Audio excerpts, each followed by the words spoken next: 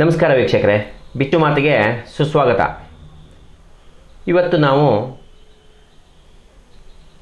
M R P L M R P L ಹಾಗೂ ಅಲ್ಲಿ ನಡೆ, ನಡೆಯುತ್ತಿರುವ ನಮ್ಮ ಜಿಲ್ಲೆಗೆ ಹಾಗೂ ನಮ್ಮ ನಾಡಿಗೆ ಏನು ಅನ್ಯಾಯ ನಡೀತಾ ಇದೆ, ದೌರ್ಜನ್ಯ ಏನು ನಡೀತಾ ಇದೆ, ಅದರ ಬಗ್ಗೆ ನಾವು ಸ್ವಲ್ಪ ಹೊತ್ತು ಮಾತಾಡ್ತಾ ಇದ್ದೀವಿ.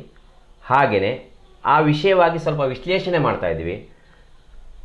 ಈ ವಿಶ್ಲೇಷಣೆ ಮಾಡಲಿಕ್ಕೆ ನಮ್ಮ ಜೊತೆಗೆ ಡಿ ವೈ ಎಫ್ ಐ ಸಂಘಟನೆಯ ನಾಯಕರಾದ ಮುನೀರ್ ಕಾಟಿಪಳ್ಳ ಅವರು ನಮ್ಮ ಜೊತೆಗಿದ್ದಾರೆ.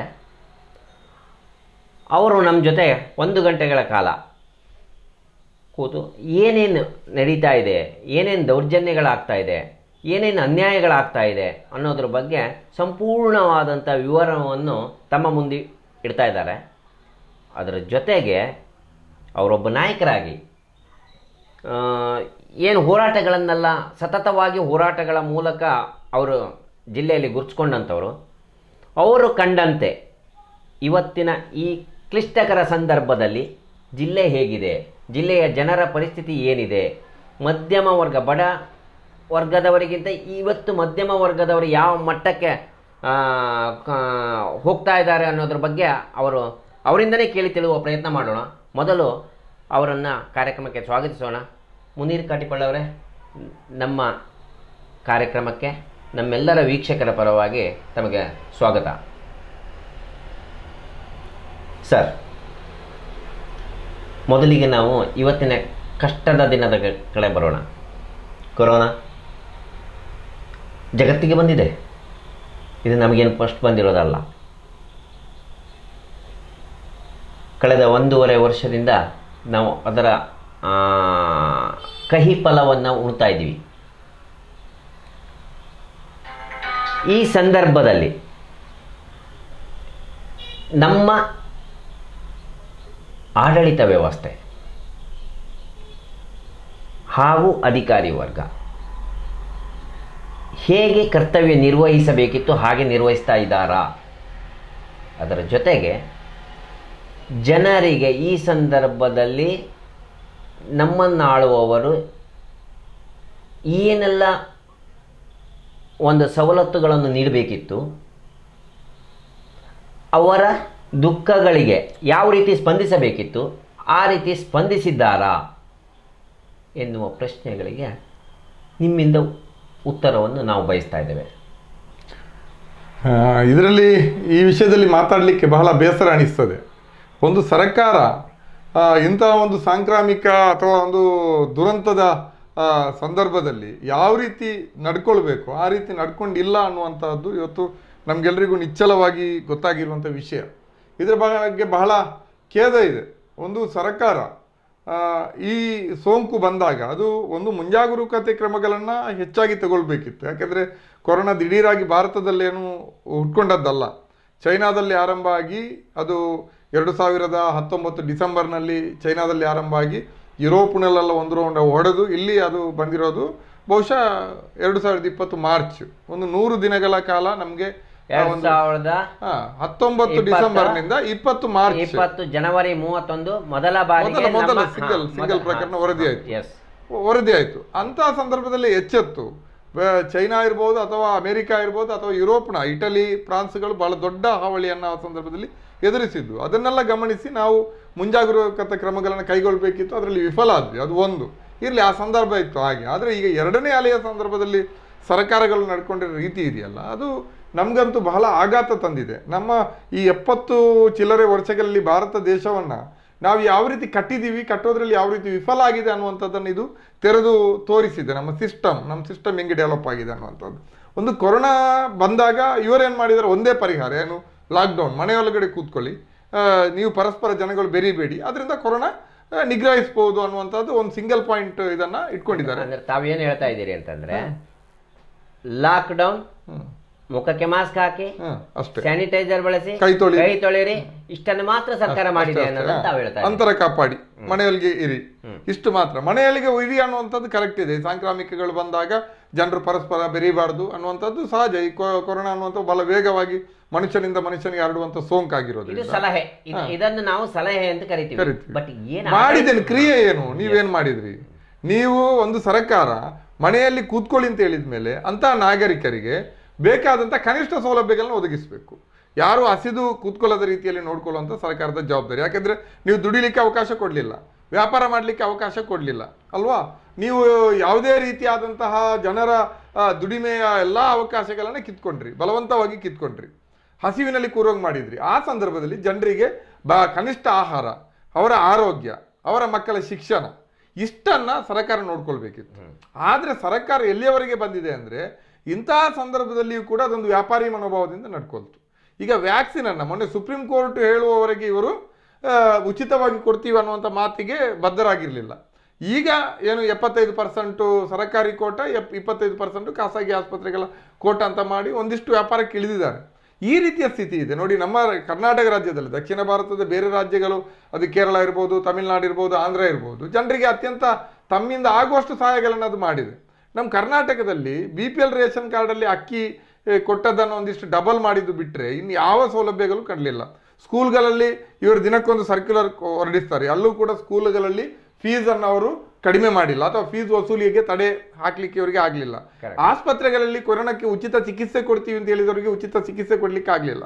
ಲಕ್ಷಾಂತರ ರೂಪಾಯಿ ಬಿಲ್ಲು ಪಾವತಿಸಬೇಕಾದಂಥ ಸ್ಥಿತಿ ಬಂತು. ಕನಿಷ್ಠ ಕೊರೋನಾಗೆ ಏನಂತ ದೊಡ್ಡ ಔಷಧಿ ಇಲ್ದಿದ್ರು ಕೂಡ ದಿನಕ್ಕೆ ಹತ್ತು ಸಾವಿರದಿಂದ ಇಪ್ಪತ್ತೈದು ಸಾವಿರ ಜಸ್ಟ್ ಈ ಸಂದರ್ಭದಲ್ಲಿ ಮುನೀರ್ ಕಾಟೇಪುಳ ಅವರೇ ನಾನು ನಿಮಗೆ ಕೇಳ್ತೀನಿ. ಈ ಕೊರೋನಾಕ್ಕೆ ಆ ಈಗ ಲಕ್ಷಾಂತರ ರೂಪಾಯಿ. ಈಗ ಒಂದು ಕೊರೋನಾ ಈ ಖಾಸಗಿ ಆಸ್ಪತ್ರೆಗಳಿಗೆ ಯಾರು ಅಡ್ಮಿಟ್ ಆಗ್ತಾರೋ ಸೊ, ಒಂದು ಐ ಸಿ ಯು ಅಥವಾ ವೆಂಟಿಲೇಟ್ಸ್ ಹೋಗ್ತಾರೋ ಅವರಿಗೆ ಕನಿಷ್ಠ ಬಿಲ್ ಮೂರು ಲಕ್ಷ ರೂಪಾಯಿ ನಾಲ್ಕು ಲಕ್ಷ ರೂಪಾಯಿ ಆಗ್ತಾ ಇದೆ.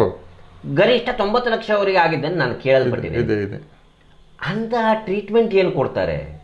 ಕೊರೋನಾ ಇದೇನಾದ್ರೂ ನಿಮಗೆ ನಿಮ್ಮ ನಿಮ್ಮ ಗಮನಕ್ಕೆ ಗೊತ್ತಿದೆ ಕೊರೋನಾಕ್ಕೆ ಅಂತ ಯಾವ ಟ್ರೀಟ್ಮೆಂಟ್ ಕೂಡ ಇಲ್ಲ. ಕೊರೋನಾಕ್ಕೆ ಅವರನ್ನು ಪ್ರತ್ಯೇಕವಾಗಿ ಇರಿಸಿ ಅವರಿಗೆ ಬೇಕಾದಂತಹ ಬೇರೆ ಬೇರೆ ಅವರ ಬಿ ಪಿ ಶುಗರು ಇನ್ನೊಂದು ಮತ್ತೊಂದಕ್ಕೆ ಬೇಕಾದಂಥ ಅವರ ಆಕ್ಸಿಜನ್ ಕುಸಿತ ಆದರೆ ಸ್ಯಾಚುರೇಷನ್ ಕುಸಿತ ಆದರೆ ಅದಕ್ಕೆ ಸಪೋರ್ಟ್ ಕೊಡುವಂಥ ಕೆಲಸವನ್ನಷ್ಟೇ ಮಾಡ್ತಾರೆ. ಮತ್ತೆ ಅವರಿಗೆ ಒಂದು ಕಾನ್ಫಿಡೆನ್ಸ್ ಬಿಲ್ಡ್ ಬಿಲ್ಡಪ್ ಮಾಡುವಂತದ್ದು ಅಷ್ಟಕ್ಕೆ ಅಷ್ಟೇ ಅಷ್ಟಕ್ಕೆ. ಕನಿಷ್ಠ ಕನಿಷ್ಠ ಸರ್ಕಾರ ಒಂದು ದಿವಸಕ್ಕೆ ಹತ್ತು ಸಾವಿರ ರೂಪಾಯಿ ತಗೊಳ್ಳುವ ಅವಕಾಶವನ್ನು ಮಾಡಿಕೊಟ್ಟಿದೆ ಖಾಸಗಿ ಕನಿಷ್ಠ ಹತ್ತು ಸಾವಿರ.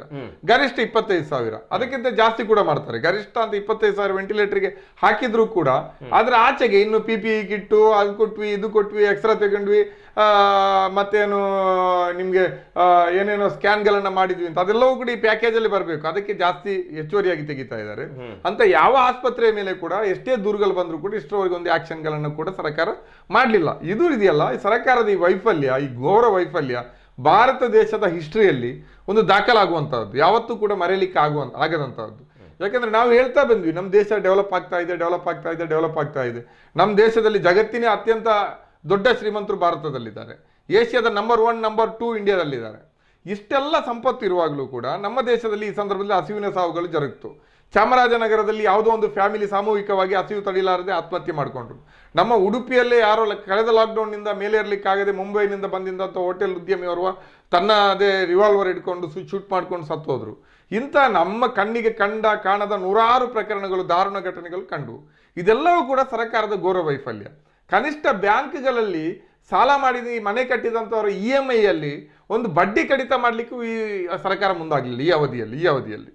ಇಂಥದ್ರಲ್ಲಿ ನಮಗೆ ಒಂದು ಡೆಮೋಕ್ರೆಸಿ, ಒಂದು ಪ್ರಜಾಪ್ರಭುತ್ವ ಅಂದರೆ ಪ್ರಜೆಗಳ ಸರ್ಕಾರ. ನಾವೇ ಆಯ್ಕೆ ಮಾಡಿದ ಜನಪ್ರತಿನಿಧಿಗಳು ಹೋಗಿ ಸರ್ಕಾರವನ್ನು ನಡೆಸ್ತಾರೆ. ಅಂದರೆ ಇಂತಹ ಸಂದರ್ಭದಲ್ಲಿ ಈ ರೀತಿಯಾಗಿ ನಡ್ಕೊಂಡ್ರಲ್ಲ, ಇದು ಸರ್ಕಾರ ವೈಫಲ್ಯ ಮಾತ್ರ ಅಲ್ಲ ಸರ್ಕಾರ ಸಂವೇದನೆ ಕಳ್ಕೊಂಡಿದೆ ಅಂತ ಹೇಳಿದ್ರೂ ಕೂಡ ಸಾಕಾಗೋದಿಲ್ಲ. ಭಾರತ ದೇಶದಲ್ಲಿ ಪ್ರಜಾಪ್ರಭುತ್ವ ವಿಫಲ ಆಗ್ತಾ ಇದೆ ಅನ್ನುವಂಥದ್ದನ್ನ ಈ ಕೊರೋನಾ ನಮಗೆ ಇವತ್ತೊಂದು ರೀತಿ ಕನ್ನಡಿಯ ತರ ಇದ್ದು ನಮಗೆಲ್ಲವನ್ನು ತೋರಿಸಿದೆ ಅನ್ನುವಂಥದ್ದು ನಾನು ದೃಢವಾಗಿ ಹೇಳಬಲ್ಲೆ.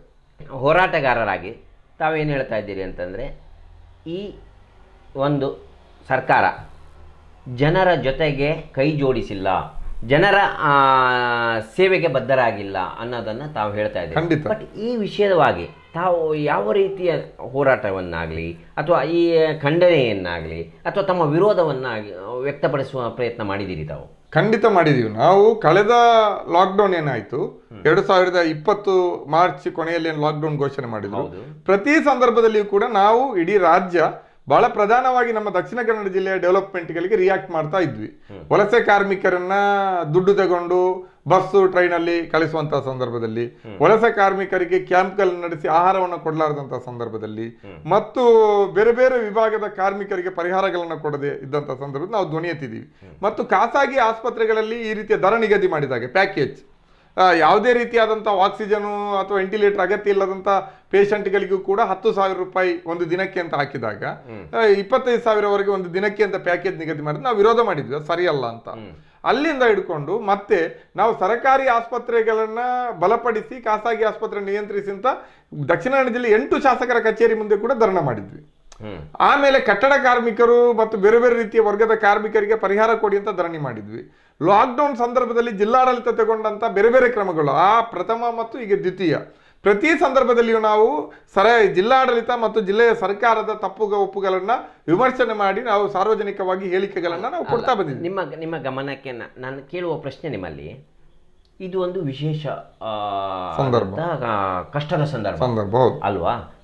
ತುರ್ತು ತುರ್ತು ಸ್ಥಿತಿ. ಅಂತ ನಾವು ಹೇಳ್ಬೋದು. ಇಂಥ ಸಂದರ್ಭದಲ್ಲಿ ಸರ್ಕಾರ ಕನ್ನಡ ಅಭಿವೃದ್ಧಿ ಪ್ರಾಧಿಕಾರದ ಅಧ್ಯಕ್ಷರು ನಾಗಾಭರಣ ಅವರು ನೋಟಿಸ್ ಕೊಟ್ಟರು ನಿಲ್ಲಿಸಿ ಕೆಲಸ. ನೇಮಕಾತಿ ಪ್ರಕ್ರಿಯೆಗೆ ತಡೆ ಹಾಕಿ. ನೀವು ಸರೋಜಿನಿ ಮಹಿಷಿ ವರದಿಯ ಪ್ರಕಾರ ಶಿಫಾರಸುಗಳನ್ನು ಇಟ್ಕೊಂಡು ಸ್ಥಳೀಯರಿಗೆ ಆದ್ಯತೆ ಕೊಟ್ಟು ಹೊಸದಾಗಿ ನೇಮಕಾತಿ ಪ್ರಕ್ರಿಯೆ ನಡೆಸಿ ಅಂತ ಹೇಳಿದರು. ಆದರೆ ನಮ್ಮ ಜ ನಾವು ಧರಣಿ ಮಾಡಿ ಇವರಿಗೆಲ್ಲ ಮನವಿ ಎಲ್ಲ ಕೊಟ್ವಿ. ಆದರೂ ಏನು ಮಾಡಲಿಲ್ಲ ಇವರು? ಈಗ ಈ ಇನ್ನೂರ ಮೂವತ್ತ್ಮೂರು ಜನರಿಗೆ ಈಗ ಉದ್ಯೋಗ ನೇಮಕಾತಿ ಮಾಡಿದ ಮೇಲೆ ಜನ ಇವತ್ತು ನಾವು ಈಗ ಮಾತಾಡ್ತಾ ಇದ್ವಿ. ಅಲ್ವಾ? ಇಲ್ಲಿ ಪ್ರಶ್ನೆ ಇರೋದು ಅಷ್ಟು ಮಾತ್ರ ಅಲ್ಲ. ನಾವು ಇನ್ನೂರ ಮೂವತ್ತ್ಮೂರು ಉದ್ಯೋಗದ ಪ್ರಶ್ನೆ ಮಾತಾಡಿದ್ರೆ ನಾನು ಆವಾಗಲೇ ಹೇಳಿದ್ದು, ಇಷ್ಟೆಲ್ಲ ಕೈಗಾರಿಕೆಗಳಿದ್ದಾವೆ ಇನ್ನು ಮುಂದಕ್ಕೂ ಉದ್ಯೋಗಗಳು ಸೃಷ್ಟಿ ಆಗ್ತದೆ, ಸಾವಿರಾರು. ಏನೇನು ಪ್ಲಾಸ್ಟಿಕ್ ಪಾರ್ಕ್ ತರ್ತೀವಿ ಅಂತ ಹೇಳ್ತಾರೆ. ಫಿಶಿಗೆ ಸಂಬಂಧಪಟ್ಟು ಏನೋ ಸೀ ಫುಡ್ ಪಾರ್ಕ್ಗಳನ್ನು ಮಾಡ್ತೀವಿ ಅಂತ ಹೇಳ್ತಾರೆ. ಏನೇನೋ ಇವರ ಇದಿದೆಯಲ್ಲ ಬರುವಾಗ ನೀವು ಸ್ಥಳೀಯರಿಗೆ ಆದ್ಯತೆ ಕೊಡಿ. ಒಂದು ಉದ್ಯೋಗ ಸೃಷ್ಟಿ ಆಗ್ಬೇಕು ಒಂದು ಉದ್ಯೋಗ ಸೃಷ್ಟಿ. ಈಗ ಇನ್ನೂರ ಮೂವತ್ಮೂರು ಉದ್ಯೋಗ ನಮಗೆ ಪೂರ್ಣ ಕೊಟ್ಟರೆ ನಮ್ಮ ನೀವು- ಎಲ್ಲ ಎಲ್ಲದನ್ನು ಮಾಡಿ. ಇಲ್ಲಿಯ ಭೂಮಿಯನ್ನು ತಗೊಂಡು ಎಲ್ಲದನ್ನು ಮಾಡಿ. ನೀವು ಅದು ಯಾರೋ ಒಂದು ಕಾರ್ಪೊರೇಟ್ ಸಂಸ್ಥೆಗಳಿಗೆ ಅದರ ಜವಾಬ್ದಾರಿ ಕೊಟ್ಟು ಅವರಲ್ಲೆಲ್ಲ ಉತ್ತರ ಭಾರತದ ಅವರಿಗೆ ಬೇಕಾದ ಅಲ್ಲಿಂದ ಉದ್ಯೋಗಿಗಳನ್ನು ಕರ್ಕೊಂಡು ಬಂದು ಇಲ್ಲಿ ಏನೋ ಒಂದು ಎಕ್ಸಾಮ್ ಅಂತೇಳಿ ಹೇಳಿ. ಎಕ್ಸಾಮ್ ಬರ್ಸಿ ಅವರು ಪಾಸ್ ಆಗಿದ್ದಾರೆ ನೀವು ಫೇಲ್ ಆಗಿದ್ದಾರೆ ಏನೇನೋ ಒಂದು ಉತ್ತರವನ್ನು ನೀಡಿ. ಅವರು ಅವರನ್ನೇ ಆಯ್ಕೆ ಮಾಡ್ಕೊಂಡ್ರೆ ನಮ್ಮ ಗತಿ? ನಾವೇನ್ ಮಾಡೋದು. ನಾವೀಗ ಹೇಳುವಂತಹದ್ದು ಇನ್ನೂರ ಮೂವತ್ಮೂರು ಉದ್ಯೋಗ ಈಗ ಎಂ ಆರ್ ಪಿ ಎಲ್ನವ್ರು ಒಂದು ವೇಳೆ ನಮಗೆ ಕೊಟ್ಟರು ಕೂಡ ನಮ್ಮ ಹಸಿವೆಯನ್ನು ಇಲ್ಲಿ ನೀಗೋದಿಲ್ಲ. ನಮ್ಮಲ್ಲಿ ಸಾವಿರ ಗಟ್ಟಲೆ ಯುವ ಜನರು ಇವತ್ತು ಸರ್ಟಿಫಿಕೇಟ್ ಇಟ್ಕೊಂಡು ಕಾಲೇಜ್ಗಳಿಂದ ಹೊರಗಡೆ ಬರ್ತಾರೆ. ಮಂಗಳೂರಿನಲ್ಲಿ ಎಷ್ಟು ಇಂಜಿನಿಯರಿಂಗ್ ಕಾಲೇಜ್ ಇದೆ ಸರ್?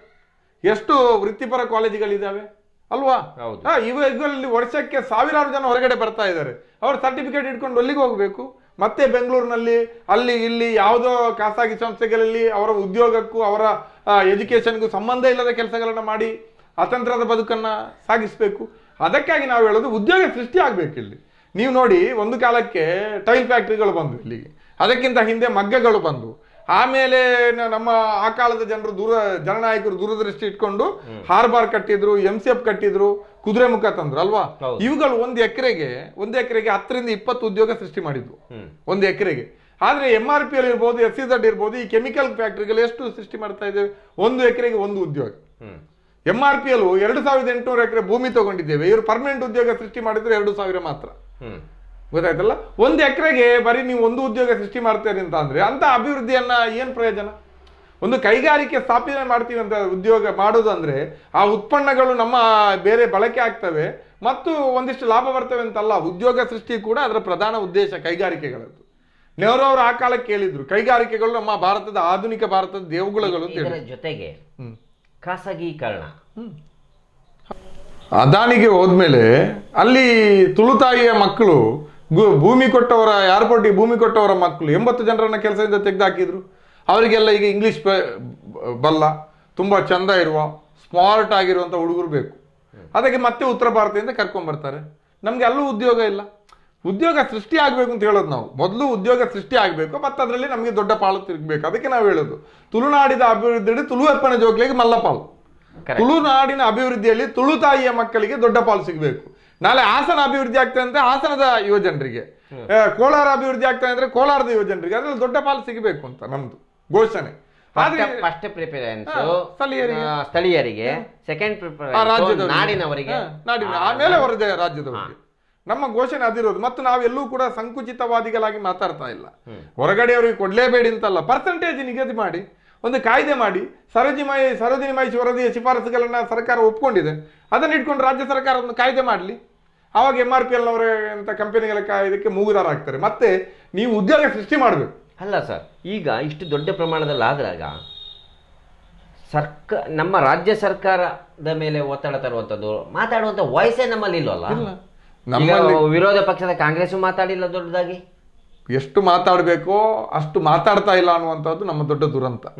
ಸಾರ್ವಜನಿಕ ಸ್ವರ ಹೇಳ್ಬೇಕು. ವೈಯಕ್ತಿಕವಾಗಿ ಕೇಳಿದಾಗ ಹೌದು ನಮ್ಮ ನಮ್ಮಲ್ಲಿ ಅವರಿಗೆ ಉದ್ಯೋಗ ಕೊಡಬೇಕು ಅವರ ಅನ್ಯಾಯ ಮಾಡ್ತಾ ಇದ್ದಾರೆ. ಹೀಗೆ ಹೇಳಿದ್ರೆ ಆಗೋದಿಲ್ಲ. ಅದನ್ನ ಹೋರಾಟಗಳ ಮೂಲಕನೋ ನೀವು ಬೈ ಬೀದಿಗೆ ಬರಬೇಕಲ್ವಾ? ಪರವಾಗಿ ಬರಬೇಕು. ಬೀದಿಗೆ ಬರಬೇಕು ಶಾಸನ ಸಭೆಯಲ್ಲಿರುವವರು ಶಾಸನ ಸಭೆಯಲ್ಲಿ ಮಾತಾಡಬೇಕು ವಿರೋಧ ಪಕ್ಷಗಳು ಶಾಸನ ಸಭೆಯಲ್ಲಿದೆ. ಮಾತಾಡಬೇಕು. ಕೇಳಬೇಕು ಎಂ ಆರ್ ಪಿ ಎಲ್ ಬರುವಾಗ ಕೊಟ್ಟರೆ ಭರವಸೆ ಏನು? ನಾವಾಗಿನ್ನು ಸಣ್ಣ ಮಕ್ಕಳು ಎಂಬತ್ತೆಂಟು ಎಂಬತ್ತೊಂಬತ್ತರ ಇಸವಿಯಲ್ಲಿ. ಆವಾಗ ಇಲ್ಲೆಲ್ಲ ಬಹಳ ದೊಡ್ಡ ಹೋರಾಟ ನಡೆದಿತ್ತು. ಆವಾಗ ಏನು ಹೇಳಿದ್ದು?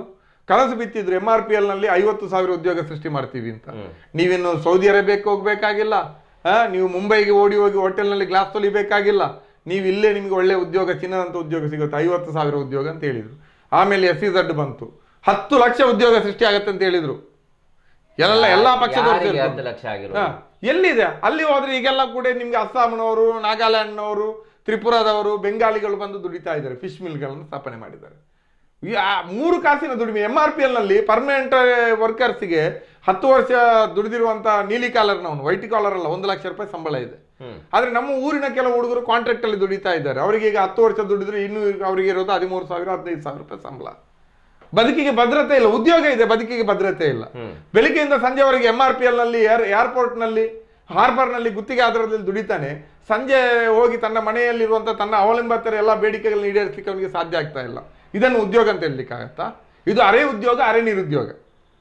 ಉದ್ಯೋಗ ಅಂದಮೇಲೆ ಆತನಿಗೆ ಒಂದು ಉದ್ಯೋಗ ಭದ್ರತೆ ಇರಬೇಕು. ನಾಳೆ ಉದ್ಯೋಗ ಕಳ್ಕೊಳ್ತೀವಿ ಅನ್ನೋಂಥ ಭಯನೂ ಇರಬಾರ್ದು. ಮತ್ತೆ ಆತ ದುಡಿದ ಮೇಲೆ, ದುಡಿಮೆ ಆದಮೇಲೆ ಆತನ ಇಡೀ ಕುಟುಂಬದ ಬೇಡಿಕೆಯನ್ನು ಈಡೇರಿಸುವಷ್ಟು ಸಾಮರ್ಥ್ಯ ಇರಬೇಕು. ಉದ್ಯೋಗ ಭದ್ರತೆ, ಜೀವನ ಭದ್ರತೆ. ಇದನ್ನು ನಾವು ಒಂದು ಪರಿಪೂರ್ಣ ಉದ್ಯೋಗ ಅಂತ ಕರಿತೀವಿ. ಈಗ ಬಹುತೇಕ ಇರೋದು ಅರೆ ಉದ್ಯೋಗ, ಅರೆ ನಿರುದ್ಯೋಗ. ಸರ್, ಈಗ ತಾವೊಬ್ಬ ಹೋರಾಟಗಾರರಾಗಿ, ಕಾರ್ಮಿಕರ ಪರವಾಗಿ ಇರುವಂಥ ಪಕ್ಷದ ನಾಯಕರಾಗಿ, ಈ ಈ ಸಮಸ್ಯೆಗಳಿಗೆ ತಮ್ಮ ಪಕ್ಷದಿಂದ ತಮ್ಮ ಕಡೆಯಿಂದ ಯಾವ ರೀತಿಯ ಹೋರಾಟಗಳು ಮುಂದಿನ ದಿನದಲ್ಲಿ ನಾವು ನೋಡ್ಬೋದು ನಾವು ಬಹಳ ಪ್ರಧಾನವಾಗಿ ಈ ಒಂದು ವರ್ಷದಲ್ಲಿ ನಾವು ಕೊಟ್ಟಿರುವಂಥ ಎರಡು ಪ್ರಧಾನ ಘೋಷಣೆಗಳು. ಒಂದು ಸರಕಾರಿ ಆಸ್ಪತ್ರೆ ಬಲಪಡಿಸಿ ಖಾಸಗಿ ಆಸ್ಪತ್ರೆಯನ್ನು ನಿಯಂತ್ರಿಸಿ ಅನ್ನುವಂಥದ್ದು ಇಟ್ಕೊಂಡು ಒಂದು ರೌಂಡ್ ಹೋರಾಟಗಳನ್ನ ಶಾಸಕರ ಕಚೇರಿಗಳ ಮುಂದೆ ಮಾಡಿದ್ವಿ ನಮ್ಮ ಜಿಲ್ಲೆಯಲ್ಲಿ ಎಲ್ಲ ಕಡೆ. ಅದರಲ್ಲಿ ನಾವು ನಮ್ಮ ಬ್ಯಾನರನ್ನೇನು ಇಟ್ಕೊಂಡಿಲ್ಲ ಒಂದು ಹೋರಾಟ ಸಮಿತಿ ಅಂತ ಮಾಡ್ಕೊಂಡು ಎಲ್ಲರೂ ಬನ್ನಿ. ಜನರ ಹೋರಾಟವಾಗಿ ಕಟ್ಟೋಣ ಪಕ್ಷಾತೀತವಾಗಿ ರಾಜಕೀಯೇತರವಾಗಿ ಕಟ್ಟೋಣ ಅಂತ ಎಲ್ಲರನ್ನು ಒಳಗೊಂಡು ಮಾಡಿದ್ವಿ. ಇನ್ನೊಂದು ಬಹಳ ಪ್ರಧಾನವಾಗಿ ಇದಕ್ಕೆ ಹಿಂದೆ ಅಂದರೆ ಈ ಎರಡನೇ ಅಲೆ ಲಾಕ್ಡೌನ್ಗಿಂತ ಹಿಂದೆ ಮಂಗಳೂರಿನಲ್ಲೇ ಮಾರ್ಚು ತಿಂಗಳಲ್ಲಿ ಮಾರ್ಚ್ ಬಹುಶಃ ಏಳು ಎಂಟು ಒಂಬತ್ತಕ್ಕೆ ಮೂರು ದಿನಗಳ ಒಂದು ಕ್ಯಾಂಪ್ ಮಾಡಿದ್ವಿ ರಾಜ್ಯ ಮಟ್ಟದ್ದು. ಉದ್ಯೋಗ ಸೃಷ್ಟಿಸಿ ಸ್ಥಳೀಯರಿಗೆ ಆದ್ಯತೆ ಒದಗಿಸಿ ಅನ್ನುವಂಥ ಘೋಷಣೆ ಮೇಲೆ ಮೂರು ದಿನಗಳ ಕಾಲ ಉದ್ಯೋಗದ ಮೇಲೆ ನಾವು ಒಂದು ವರ್ಕ್ಶಾಪ್ ಮಾಡಿದ್ವಿ. ನಿರುದ್ಯೋಗದ ವಿರುದ್ಧ ಹೋರಾಟಗಳನ್ನು ಕಟ್ಟಬೇಕು ಅಂತ. ಒಂದು ಕೊರೋನಾ ಬರೋದಕ್ಕಿಂತ ಹಿಂದೆ ನಮ್ಮಲ್ಲಿ ನಿರುದ್ಯೋಗದ ದರ ಎತ್ತಾ ಇತ್ತು ಈಗ ಕೊರೋನಾ ಬಂದ ಮೇಲೆ ನಾವು ಕೋಟಿ ಕೋಟಿ ಉದ್ಯೋಗಗಳನ್ನ ಕಲ್ತ್ಕೊಳ್ತಾ ಇದ್ದೀವಿ. ಒಂದು ಕಡೆ ವರ್ಷಕ್ಕೆ ಎರಡು ಕೋಟಿ ಉದ್ಯೋಗದ ಭರವಸೆ ಕೊಟ್ಟಿದ್ರು. ಈಗ ನೋಡಿದ್ರೆ ಕೋಟಿ ಕೋಟಿ ಉದ್ಯೋಗ ನಷ್ಟ ಆಗ್ತಾ ಇದೆ. ಅದರಿಂದಾಗಿ ನಾವು ಉದ್ಯೋಗ ಸೃಷ್ಟಿಸಿ ಸ್ಥಳೀಯರಿಗೆ ಆದ್ಯತೆ ಒದಗಿಸಿ ಅನ್ನುವಂಥ ಇದರಲ್ಲಿ ನಾವು ನಮ್ಮ ಮುಂದಿನ ಎರಡು ಇದೆ. ಒಂದು ಸರ್ಕಾರಿ ಆಸ್ಪತ್ರೆ ಬಲಪಡಿಸಿ ಖಾಸಗಿ ಅವರನ್ನು ನಿಯಂತ್ರಿಸಿ ಇನ್ನೊಂದು ಉದ್ಯೋಗ ಸೃಷ್ಟಿಸಿ ಸ್ಥಳೀಯರಿಗೆ ಆದ್ಯತೆ ಒದಗಿಸಿ ಅನ್ನುವಂಥ ಎರಡು ಘೋಷಣೆಗಳು ಮುಂದಿನ ದಿನಗಳಲ್ಲಿ ಈಗ ಕೊರೋನಾದ ನಂತರ ಕೊರೋನೋತ್ತರ ಕಾಲದಲ್ಲಿ ಇನ್ನೊಂದು ಎಲ್ಲ ಮುಗಿತಾ ಬಂತು. ಮೂರನೇ ಅಲೆ ನಮ್ಮ ಪ್ರಕಾರ ಭಾರತಕ್ಕೆ ಅಂತ ದೊಡ್ಡ ಹಾವಳಿಯನ್ನು ಮಾಡೋದಿಲ್ಲ. ಅಷ್ಟೊತ್ತಿಗೆ ನಾವೆಲ್ಲರೂ ಕೂಡ ಕೊರೋನಾ ಬಹುತೇಕ ಇದನ್ನು ಕೊರೋನಾ ಪರ ಭರಿಸ್ಕೊಂಡು ಈಗಾಗಲೇ ಅದಕ್ಕೊಂದು ಆಂಟಿ ಇದನ್ನು ಬೆಳೆಸ್ಕೊಂಡಿದ್ವಿ ಮತ್ತು ಇನ್ನೊಂದು ಕಡೆ ವ್ಯಾಕ್ಸಿನ್ ಆಗ್ತಾ ಇದ್ದಾರೆ. ಅದರಿಂದಾಗಿ ನಾವು ಈ ಒಂದು ಹೋರಾಟವನ್ನು ಮುಂದಿನ ದಿನಗಳಲ್ಲಿ ಎರಡು ಬೇಡಿಕೆಗಳ ಮೇಲೆ ಆರೋಗ್ಯ ಮತ್ತು ಉದ್ಯೋಗದ ಬೇಡಿಕೆ ಮೇಲೆ ದೊಡ್ಡ ರೀತಿಯಲ್ಲಿ ಒಂದು ಮೂವ್ಮೆಂಟ್ ಕರ್ನಾಟಕದಲ್ಲಿ ಕಟ್ಟುವ ಆಲೋಚನೆಯಲ್ಲಿದ್ದೀವಿ. ಅದು ಕೇವಲ ನಾವು ನಮ್ಮ ಡಿವೈಎಫ್ ಬ್ಯಾನರು ಅಥವಾ ನಮ್ಮ ಕೆಂಬಾವುಟ ಇದರ ಆಧಾರದಲ್ಲಲ್ಲ. ಒಂದು ಯುವ ಜನರ ಸಾಮೂಹಿಕ ಹೋರಾಟವಾಗಿ ಅದನ್ನು ಪರಿವರ್ತನೆ ಮಾಡಬೇಕು ಅನ್ನೋ ಒಂದು ರೀತಿಯಲ್ಲಿ ಆಲೋಚನೆ ಇದೆ. ಮೊನ್ನೆ ಒಂದು ದಕ್ಷಿಣ ಜಿಲ್ಲೆಯಲ್ಲಿ ಒಂದು ಮನೆ ಮನೆ ಪ್ರತಿಭಟನೆ ಅಂತ ಮಾಡಿದ್ವಿ. ಎಂ ಆರ್ ಪಿ ಎಲ್ ಉದ್ಯೋಗದ ಮೇಲೆ ಮಾಡಿದ್ವಿ. ಅದರಲ್ಲೊಂದು ಇಪ್ಪತ್ತೈದು, ಮೂವತ್ತು ಸಾವಿರ ಜನ ತಮ್ಮ ತಮ್ಮ ಮನೆಯಲ್ಲಿ ಬೇಡಿಕೆಗಳ ಮೇಲೆ ನಾವು ಇಡೀ ತುಳುನಾಡು ಅಂತ ಏನು ಕರಿತಿದ್ವಿ? ಇದರ ಶಿರೂರು ಉತ್ತರದ ನಮ್ಮ ಉಡುಪಿ ಜಿಲ್ಲೆಯ ಶಿರೂರಿನಿಂದ ಹಿಡಿದು ದಕ್ಷಿಣ ಕನ್ನಡ ಜಿಲ್ಲೆಯ ಬಾರ್ಡ್ರು ಸುಳ್ಯದ ಸಂಪಾಜೆವರೆಗೆ ಒಂದು ಮೂಮೆಂಟನ್ನು ಅನ್ನ ಈ ಘೋಷಣೆ ಅಡಿ ಕಟ್ಟಬೇಕು ಅನ್ನುವ ರೀತಿಯಲ್ಲಿ ನಾವು ಆಲೋಚನೆಗಳನ್ನ ಮಾಡ್ತಾ ಇದ್ದೀವಿ. ಈಗಾಗಲೇ ಬೇರೆ ಬೇರೆ ಸಾಮಾಜಿಕ, ರಾಜಕೀಯ ಸಂಘಟನೆಗಳನ್ನು ಕೂಡ ಭಾಳ ಪ್ರಧಾನವಾಗಿ ವಿದ್ಯಾರ್ಥಿ ಯೋಜನಾ ಸಂಘಟನೆಗಳನ್ನು ನಾವು ಒಂದು ವೇದಿಕೆಗೆ ತರುವ ಪ್ರಯತ್ನವನ್ನು ಮಾಡ್ತಾ ಇದ್ದೀವಿ. ನಮ್ಮ ಹಕ್ಕುಗಳು ಇದು. ನಮಗೆ ಸಿಗಲೇಬೇಕು. ಮತ್ತು ಇದು ರಾಜಕೀಯ ಪ್ರಶ್ನೆಯಾಗಿ ಪರಿವರ್ತನೆ ಆಗಬೇಕು. ಆವಾಗಲೇ ಇದಕ್ಕೆ ಪರಿಹಾರ ಸಿಗೋದು ಈ ಪ್ರಶ್ನೆಗಳನ್ನು ಉದ್ಯೋಗ ಆರೋಗ್ಯ ಶಿಕ್ಷಣವನ್ನು ಬಿಟ್ಟು ಯಾರೂ ಕೂಡ ರಾಜಕೀಯ ಮಾಡಲಿಕ್ಕೆ ಆಗದಂಥ ಸ್ಥಿತಿ ನಿರ್ಮಾಣ ಮಾಡಬೇಕು ಅನ್ನುವಂಥದ್ದು ನಮ್ಮ ಆಶಯ. ಆ ನಿಟ್ಟಿನಲ್ಲಿ ಮುಂದಿನ ದಿನಗಳಲ್ಲಿ ರಾಜ್ಯಾದ್ಯಂತ ನಡೀತದೆ. ಬಹುಶಃ ಬಹಳ ದೊಡ್ಡ ರೀತಿಯಲ್ಲಿ ತುಳುನಾಡಿನಲ್ಲಿ ಈ ಎರಡು ಪ್ರಶ್ನೆಗಳಲ್ಲಿ ನಾವು ಹೋರಾಟವನ್ನು ಗಟ್ಟಿಯಾಗಿ ಕಟ್ತೀವಿ. ಈ ಈ ನಮ್ಮ ಮೆಡಿಕಲ್ ಕಾಲೇಜಸ್ಗಳನ್ನು ಅಥವಾ ಸ ಕೆಲವು ಮೇನ್ ಹಾಸ್ಪಿಟಲ್ಸ್ಗಳನ್ನು ಸರ್ಕಾರನೇ ನಮ್ಮ ಜಿಲ್ಲಾಡಳಿತಗಳ ಮೂಲಕ ತನ್ನ ಸುಪರ್ದಿಗೆ ಪಡೆದು ಈ ವಿಶೇಷ ಸಂದರ್ಭದಲ್ಲಿ ಅಲ್ಲಿ ಜನರಿಗೆ ಒಂದು ಫ್ರೀ ಟ್ರೀಟ್ಮೆಂಟ್ ಕೊಡುವಂಥ ವ್ಯವಸ್ಥೆಯನ್ನು. ಯಾಕೆ ಅಂತಂದರೆ ನಮ್ಮ ಜಿಲ್ಲಾ ಸರ್ಕಾರಿ ಆಸ್ಪತ್ರೆಗಳಾಗಲಿ ತಾಲೂಕು ಸರ್ಕಾರಿ ಆಸ್ಪತ್ರೆಗಳು ಆ ಮಟ್ಟದಲ್ಲಿ ಇಲ್ಲ ಅನ್ನೋ ಕಾರಣಕ್ಕೋಸ್ಕರ ಹೌದು. ನಾವು ಈ ವ್ಯವಸ್ಥೆಯನ್ನು ಬಳಸ್ಕೊಳ್ಬೋದಿತ್ತು. ತುರ್ತು ತುರ್ತು ಸಂದರ್ಭ ಆಗಿರೋ ಕಾರಣ ಆ ವಿಷಯದಲ್ಲಿ ಯಾರೂ ಕೂಡ ವಿರೋಧ ಮಾಡಲಿಕ್ಕೆ ಸಾಧ್ಯ ಇದ್ದಿಲ್ಲ. ತಾವೇನು ಹೇಳ್ತೀರಿ ಖಂಡಿತ. ಇದು ನಾವು ಈ ದೇಶ ಮಟ್ಟದಲ್ಲಿಯೂ ಕೂಡ ಈ ಪ್ರಶ್ನೆಯನ್ನು ಎತ್ತಿದ್ವಿ ನಾವು. ರಾಜ್ಯ ಮಟ್ಟದಲ್ಲಿ ಹೇಳಿದ್ವಿ. ಇದು ಆರೋಗ್ಯ ತುರ್ತು ಸ್ಥಿತಿ. ಈಗ ತಾತ್ಕಾಲಿಕವಾಗಿ ಆದರೂ ಕೂಡ ಆಸ್ಪತ್ರೆಗಳನ್ನ ನೀವು ರಾಷ್ಟ್ರೀಕರಣಗೊಳಿಸಿ ಆರೋಗ್ಯ ಸೇವೆನ ತಾತ್ಕಾಲಿಕ ಮಟ್ಟದಲ್ಲಿ. ಸರ್ಕಾರವೇ ಇದನ್ನೆಲ್ಲ ನಡೆಸಿ ಅಂತ ಹೇಳಿದ್ವಿ. ಜಿಲ್ಲೆಯಲ್ಲಿಯೂ ಕೂಡ ಎಂಟು ಮೆಡಿಕಲ್ ಕಾಲೇಜ್ ಇದೆ. ಎಂಟು ಮೆಡಿಕಲ್ ಕಾಲೇಜ್ ಪ್ರೈವೇಟ್ ಎಲ್ಲವೂ. ಅವೆಲ್ಲವೂ ಕೂಡ ಸರ್ಕಾರಿ ವೆನ್ಲಾಕ್ ಮೆಡಿಕಲ್ ಕಾಲೇಜನ್ನು ಮುಂದಿಟ್ಕೊಂಡೇ ಕಟ್ಟಿರುವಂಥ ಸಂಸ್ಥೆಗಳು. ಅವ್ರಿಗೇನು ಆರಂಭದಲ್ಲಿ ಏನು ದೊಡ್ಡ ಅಂತ ಶಕ್ತಿ ಇರಲಿಲ್ಲ. ನಮ್ಮ ಇದನ್ನ ಬ- ಬಳಸ್ಕೊಂಡೇ ಬೆಳೆದು ಅದರಿಂದಾಗಿ ಅವರು ಅವ್ರಿಗಿರುವಂತ ಒಪ್ಪಂದಗಳು ಆ ಕಂಡೀಷನ್ಗಳ ಆಧಾರದಲ್ಲಿ ಅವರದಕ್ಕೆ ಸರ್ಕಾರ ಆ ರೀತಿ ತೀರ್ಮಾನ ತಗೊಂಡ್ರೆ ಅದನ್ನು ಅವ್ರು ಮಾಡಲೇಬೇಕಿತ್ತು. ಆದ್ರೆ ನಾವು ಒತ್ತಾಯ ಮಾಡಿದ್ವಿ. ಆದ್ರೆ ಮಾಡಲಿಲ್ಲ. ಹೆಂಗ ಅವಕಾಶ ಇತ್ತು ಅಂದ್ರೆ ನೀವು ನಂಬ್ತೀರ ಇಲ್ಲೋ ಗೊತ್ತಿಲ್ಲ ಕಳೆದ ಒಂದು ವರ್ಷದ ಅವಧಿಯಲ್ಲಿ ಕಳೆದ ಮಾರ್ಚಿನಿಂದ ಈ ಮಾರ್ಚ್ ಅಥವಾ ಕಳೆದ ಮೇ ಮೇಯಿಂದ ಈ ಮೇವರೆಗೆ ರಾಜ್ಯ ಸರ್ಕಾರ ಅಥವಾ ರಾಷ್ಟ್ರ ಸರ್ಕಾರ ದಕ್ಷಿಣ ಕನ್ನಡ ಜಿಲ್ಲೆಯಲ್ಲಿ ಆಯುಷ್ಮಾನ್ ಅಡಿಯಲ್ಲಿ ನೂರು ಕೋಟಿ ರೂಪಾಯಿ ಖರ್ಚು ಮಾಡಿದೆ. ಖಾಸಗಿ ಆಸ್ಪತ್ರೆಗಳಿಗೆ. ಸರ್ಕಾರಿ ಆಸ್ಪತ್ರೆ ಖರ್ಚು ಹೇಳ್ತಾ ಇಲ್ಲ. ನೂರು ಕೋಟಿ ರೂಪಾಯಿ ಹೆಚ್ಚು ಕಮ್ಮಿ ಒಂದು ಐದು ಕೋಟಿ ಹೆಚ್ಚು ಕಮ್ಮಿ ಇರ್ಬೋದು.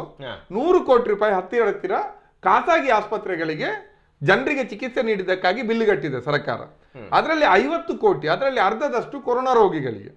ಇನ್ನು ಅರ್ಧದಷ್ಟು ಉಳಿದ ರೋಗದ ಚಿಕಿತ್ಸೆಗಳಿಗೆ ಸರ್ಕಾರ ಕೊಟ್ಟಿದೆ. ಈ ನೂರು ಕೋಟಿಯನ್ನು ಖರ್ಚು ಮಾಡಿದೆ ಅದಲ್ಲದೆ ಬೇರೆ ಹಲವಾರು ಖರ್ಚುಗಳು ಸರ್ಕಾರಿ ಆಸ್ಪತ್ರೆಯಲ್ಲಿ ಆಗಿದೆ. ಈ ಈ ಇದನ್ನು ಇಟ್ಕೊಂಡು ಸರ್ಕಾರಕ್ಕೆ ನಡೆಸ್ಬೋದಿತ್ತು. ದಕ್ಷಿಣ ಕನ್ನಡ ಜಿಲ್ಲೆಯ ಕೆಲವಾದರೂ ಒಂದು ಮೂರ್ನಾಲ್ಕು ಮೆಡಿಕಲ್ ಕಾಲೇಜು ಮೂರ್ನಾಲ್ಕು ದೊಡ್ಡ ದೊಡ್ಡ ಆಸ್ಪತ್ರೆಗಳನ್ನ ಇಟ್ಕೊಂಡು ಕೊರೋನಾ ಪೇಷಂಟ್ಗಳಿಗೆ ಸರ್ಕಾರವೇ ಈ ಅಮೌಂಟಲ್ಲಿ ನಡೆಸ್ಬೋದಿತ್ತು. ಸರ್ಕಾರವೇ ಸಂಬಳ ಕೊಡ್ಬೋದಿತ್ತು. ಆದರೆ ಇಲ್ಲಿ ಇಚ್ಛಾಶಕ್ತಿ ಇಲ್ಲ ಒಂದು. ಮತ್ತೆ ಸರ್ಕಾರದ ನೀತಿಗಳು ಸರ್ಕಾರವನ್ನೇ ಯಾರು ನಿಯಂತ್ರಿಸ್ತಾರೆ ಅಂದ್ರೆ ದಕ್ಷಿಣ ಕನ್ನಡ ಜಿಲ್ಲೆ ನಿಯಂತ್ರಣ ಖಾಸಗಿ ಆಸ್ಪತ್ರೆ ಮತ್ತು ಖಾಸಗಿ ಮೆಡಿಕಲ್ ಕಾಲೇಜಿನ ಲಾಬಿಗಳ ಹಿಡಿತದಲ್ಲಿದೆ. ಅವರು ಏನೇ ಹೇಳ್ತಾರೆ ಅದು ನಡೀತದೆ. ಅದರಿಂದಾಗಿ ನಮ್ಮ ಮಾತುಗಳು ಅರಣ್ಯ ಇರೋದನ್ನು ನಾನು ಮೊನ್ನೆ ಕೂಡ ಹೇಳಿದೆ. ನಾವೇ ಜಿಲ್ಲಾಡಳಿತಕ್ಕೆ ತುಂಬಾ ದೂರು ಕೊಟ್ಟಿದ್ದೀವಿ. ಹೆಂಗೆ ಇವರು ನಿಯಮಗಳನ್ನು ಉಲ್ಲಂಘಿಸಿದ್ದಾರೆ? ಹೆಂಗೆ ಸರ್ಕಾರದ ನಿಯಮಗಳನ್ನು ಮೀರಿ ಬಿಲ್ಗಳನ್ನು ಹಾಕಿದ್ದಾರೆ? ಹೆಂಗೆ ಜನರನ್ನ ಸುಲಿಗೆ ಮಾಡಿದ್ದಾರೆ? ಎಲ್ಲವನ್ನ ಹೇಳಿದೀವಿ. ಹೆಂಗೆ ಸರ್ಕಾರಿ ಕೋಟ ಸಿಗ್ಬಿಟ್ಟು ಆದ್ರೂ ನೀವು ನೀವು ಅಷ್ಟೆಲ್ಲ ಮಾಡಿದ್ರಲ್ಲ ನೀವು ಆ- ಜಿಲ್ಲಾಡಳಿತಕ್ಕೆ ಅದನ್ನು ವಿವರವಾಗಿ ನೀವು ಕೊಟ್ಟಿರಿ ದೂರುಗಳು. ಆ ದೂರುಗಳು ಹೇಗೆ ಅದು ರದ್ದಿಯಾಗಿ ವೇಸ್ಟ್ ಬಾಕ್ಸ್ಗಳಿಗೆ ಹೋಗ್ಬಿಡ್ತದೆ? ಹೌದು. ನಾ ನಾವು ಕೊನೆಗೆ ಈ ಸರ್ತಿ ಆಡಳಿತ ನಡೆಸುವ ಅಧಿಕಾರಿಗಳೆಲ್ಲ ಕೆಟ್ಟರು ಕೆಟ್ಟವರು ಅಂತ ಹೇಳಲ್ಲ. ಆದ್ರೆ ನಮ್ಮ ಸಿಸ್ಟಮ್ ಹಂಗಿದೆ. ಅವರು ನಾವು ಕೊಟ್ಟ ದೂರುಗಳ ಮೇಲೆ ತುಂಬಾ ಬಿಲ್ಲುಗಳಲ್ಲಿರುವಂಥ ಇವುಗಳೇನು? ಮೋಸಗಳನ್ನ ಚೆಕ್ ಮಾಡಿ ದುಡ್ಡುಗಳನ್ನ ವಾಪಸ್ ಕೊಟ್ಟಿದ್ದಾರೆ. ಪೇಷಂಟ್ಗಳಿಗೆ ಕೊಟ್ಟಿದ್ದಾರೆ ವಾಪಸ್ ನಾವು ಮಾಡಿ ಹೌದೌದು. ನಾನೇ ಅಟೆಂಡ್ ಮಾಡಿದಂತ ಒಂದು ಹತ್ತಿಪ್ಪತ್ತಕ್ಕಿಂತ ಹೆಚ್ಚು ಕೇಸ್ ಇದೆ. ಕೋಟಿ ರೂಪಾಯಿಗಿಂತ ಹೆಚ್ಚು ಹಣ ಬೇರೆ ಬೇರೆ ರೋಗಿಗಳಿಗೆ ವಾಪಸ್ ಹೋಗಿದೆ. ಆದ್ರೆ ನಾನು ಆ ಸಂದರ್ಭದಲ್ಲಿ ಜಿಲ್ಲಾಧಿಕಾರಿಗಳಿಗೆ ಆರೋಗ್ಯ ಅಧಿಕಾರಿಗಳಿಗೆ ಹೇಳಿದೆ. ನೀವು ಸರ್ ದುಡ್ಡು ವಾಪಸ್ ಕೊಟ್ಟರೆ ಸಾಲದು. ನೂರರಲ್ಲಿ ಒಂದು ಪೇಷಂಟ್ಗೆ ಅಷ್ಟೇ ವಾಪಸ್ ಹೋಗುತ್ತೆ. ಬಾಕಿ ತೊಂಬತ್ತೊಂಬತ್ತು ಪೇಷಂಟ್ಗಳಲ್ಲಿ ಈ ರೀತಿ ಪಡೆದಿರುವಂತ ದುಡ್ಡು ಖಾಸಗಿ ಆಸ್ಪತ್ರೆ ಖಜಾನೆಗೆ ಹೋಗ್ತದೆ. ನೀವು ನಾವು ಕೊಟ್ಟರೆ ದೂರುಗಳು ಪ್ರೂವ್ ಆದಾಗ ವಾಪಸ್ ಕೊಟ್ಟರೆ ಸಾಲದು. ಅಂತ ಆಸ್ಪತ್ರೆಗಳ ಮೇಲೆ ಕ್ರಿಮಿನಲ್ ಆಕ್ಷನ್ ತಗೊಳ್ಳಿ. K P M E act ಇದೆ ಕರ್ನಾಟಕ ಪ್ರೈವೇಟ್ ಹಾಸ್ಪಿಟಲ್ ಏನೋ ಎಸ್ಟಾಬ್ಲಿಷ್ ಆಕ್ಟ್ ಇದೆ. ಅದರ ಆಧಾರದಲ್ಲಿ ಆಕ್ಷನ್ ತಗೊಳ್ಳಿ. ಸಾಂಕ್ರಾಮಿಕ ಇದರ ದುರುಪಯೋಗದ ಅಡಿಯಲ್ಲಿ ನೀವು ಆಕ್ಷನ್ ತಗೊಳ್ಳಿ. ಆದ್ರೆ ಅವರು ನಿಸ್ಸಹಾಯಕರು. ಯಾಕೆಂದ್ರೆ ಸಿಸ್ಟಮ್ ಆ ರೀತಿ ಇದೆ. ಇಲ್ಲಿಯ ರಾಜಕಾರಣವನ್ನ ಖಾಸಗಿ ಆಸ್ಪತ್ರೆಯ ಲಾಬಿಗಳು ನಿಯಂತ್ರಿಸ್ತದೆ. ದಕ್ಷಿಣ ಕನ್ನಡ ಜಿಲ್ಲೆ ಇರುವಂತಹ ಎಂಟು ಮೆಡಿಕಲ್ ಕಾಲೇಜಿಯ ದಣಿಗಳು. ಎಲ್ಲಾ ಧರ್ಮದವರು ಇದ್ದಾರೆ ಅದರಲ್ಲಿ.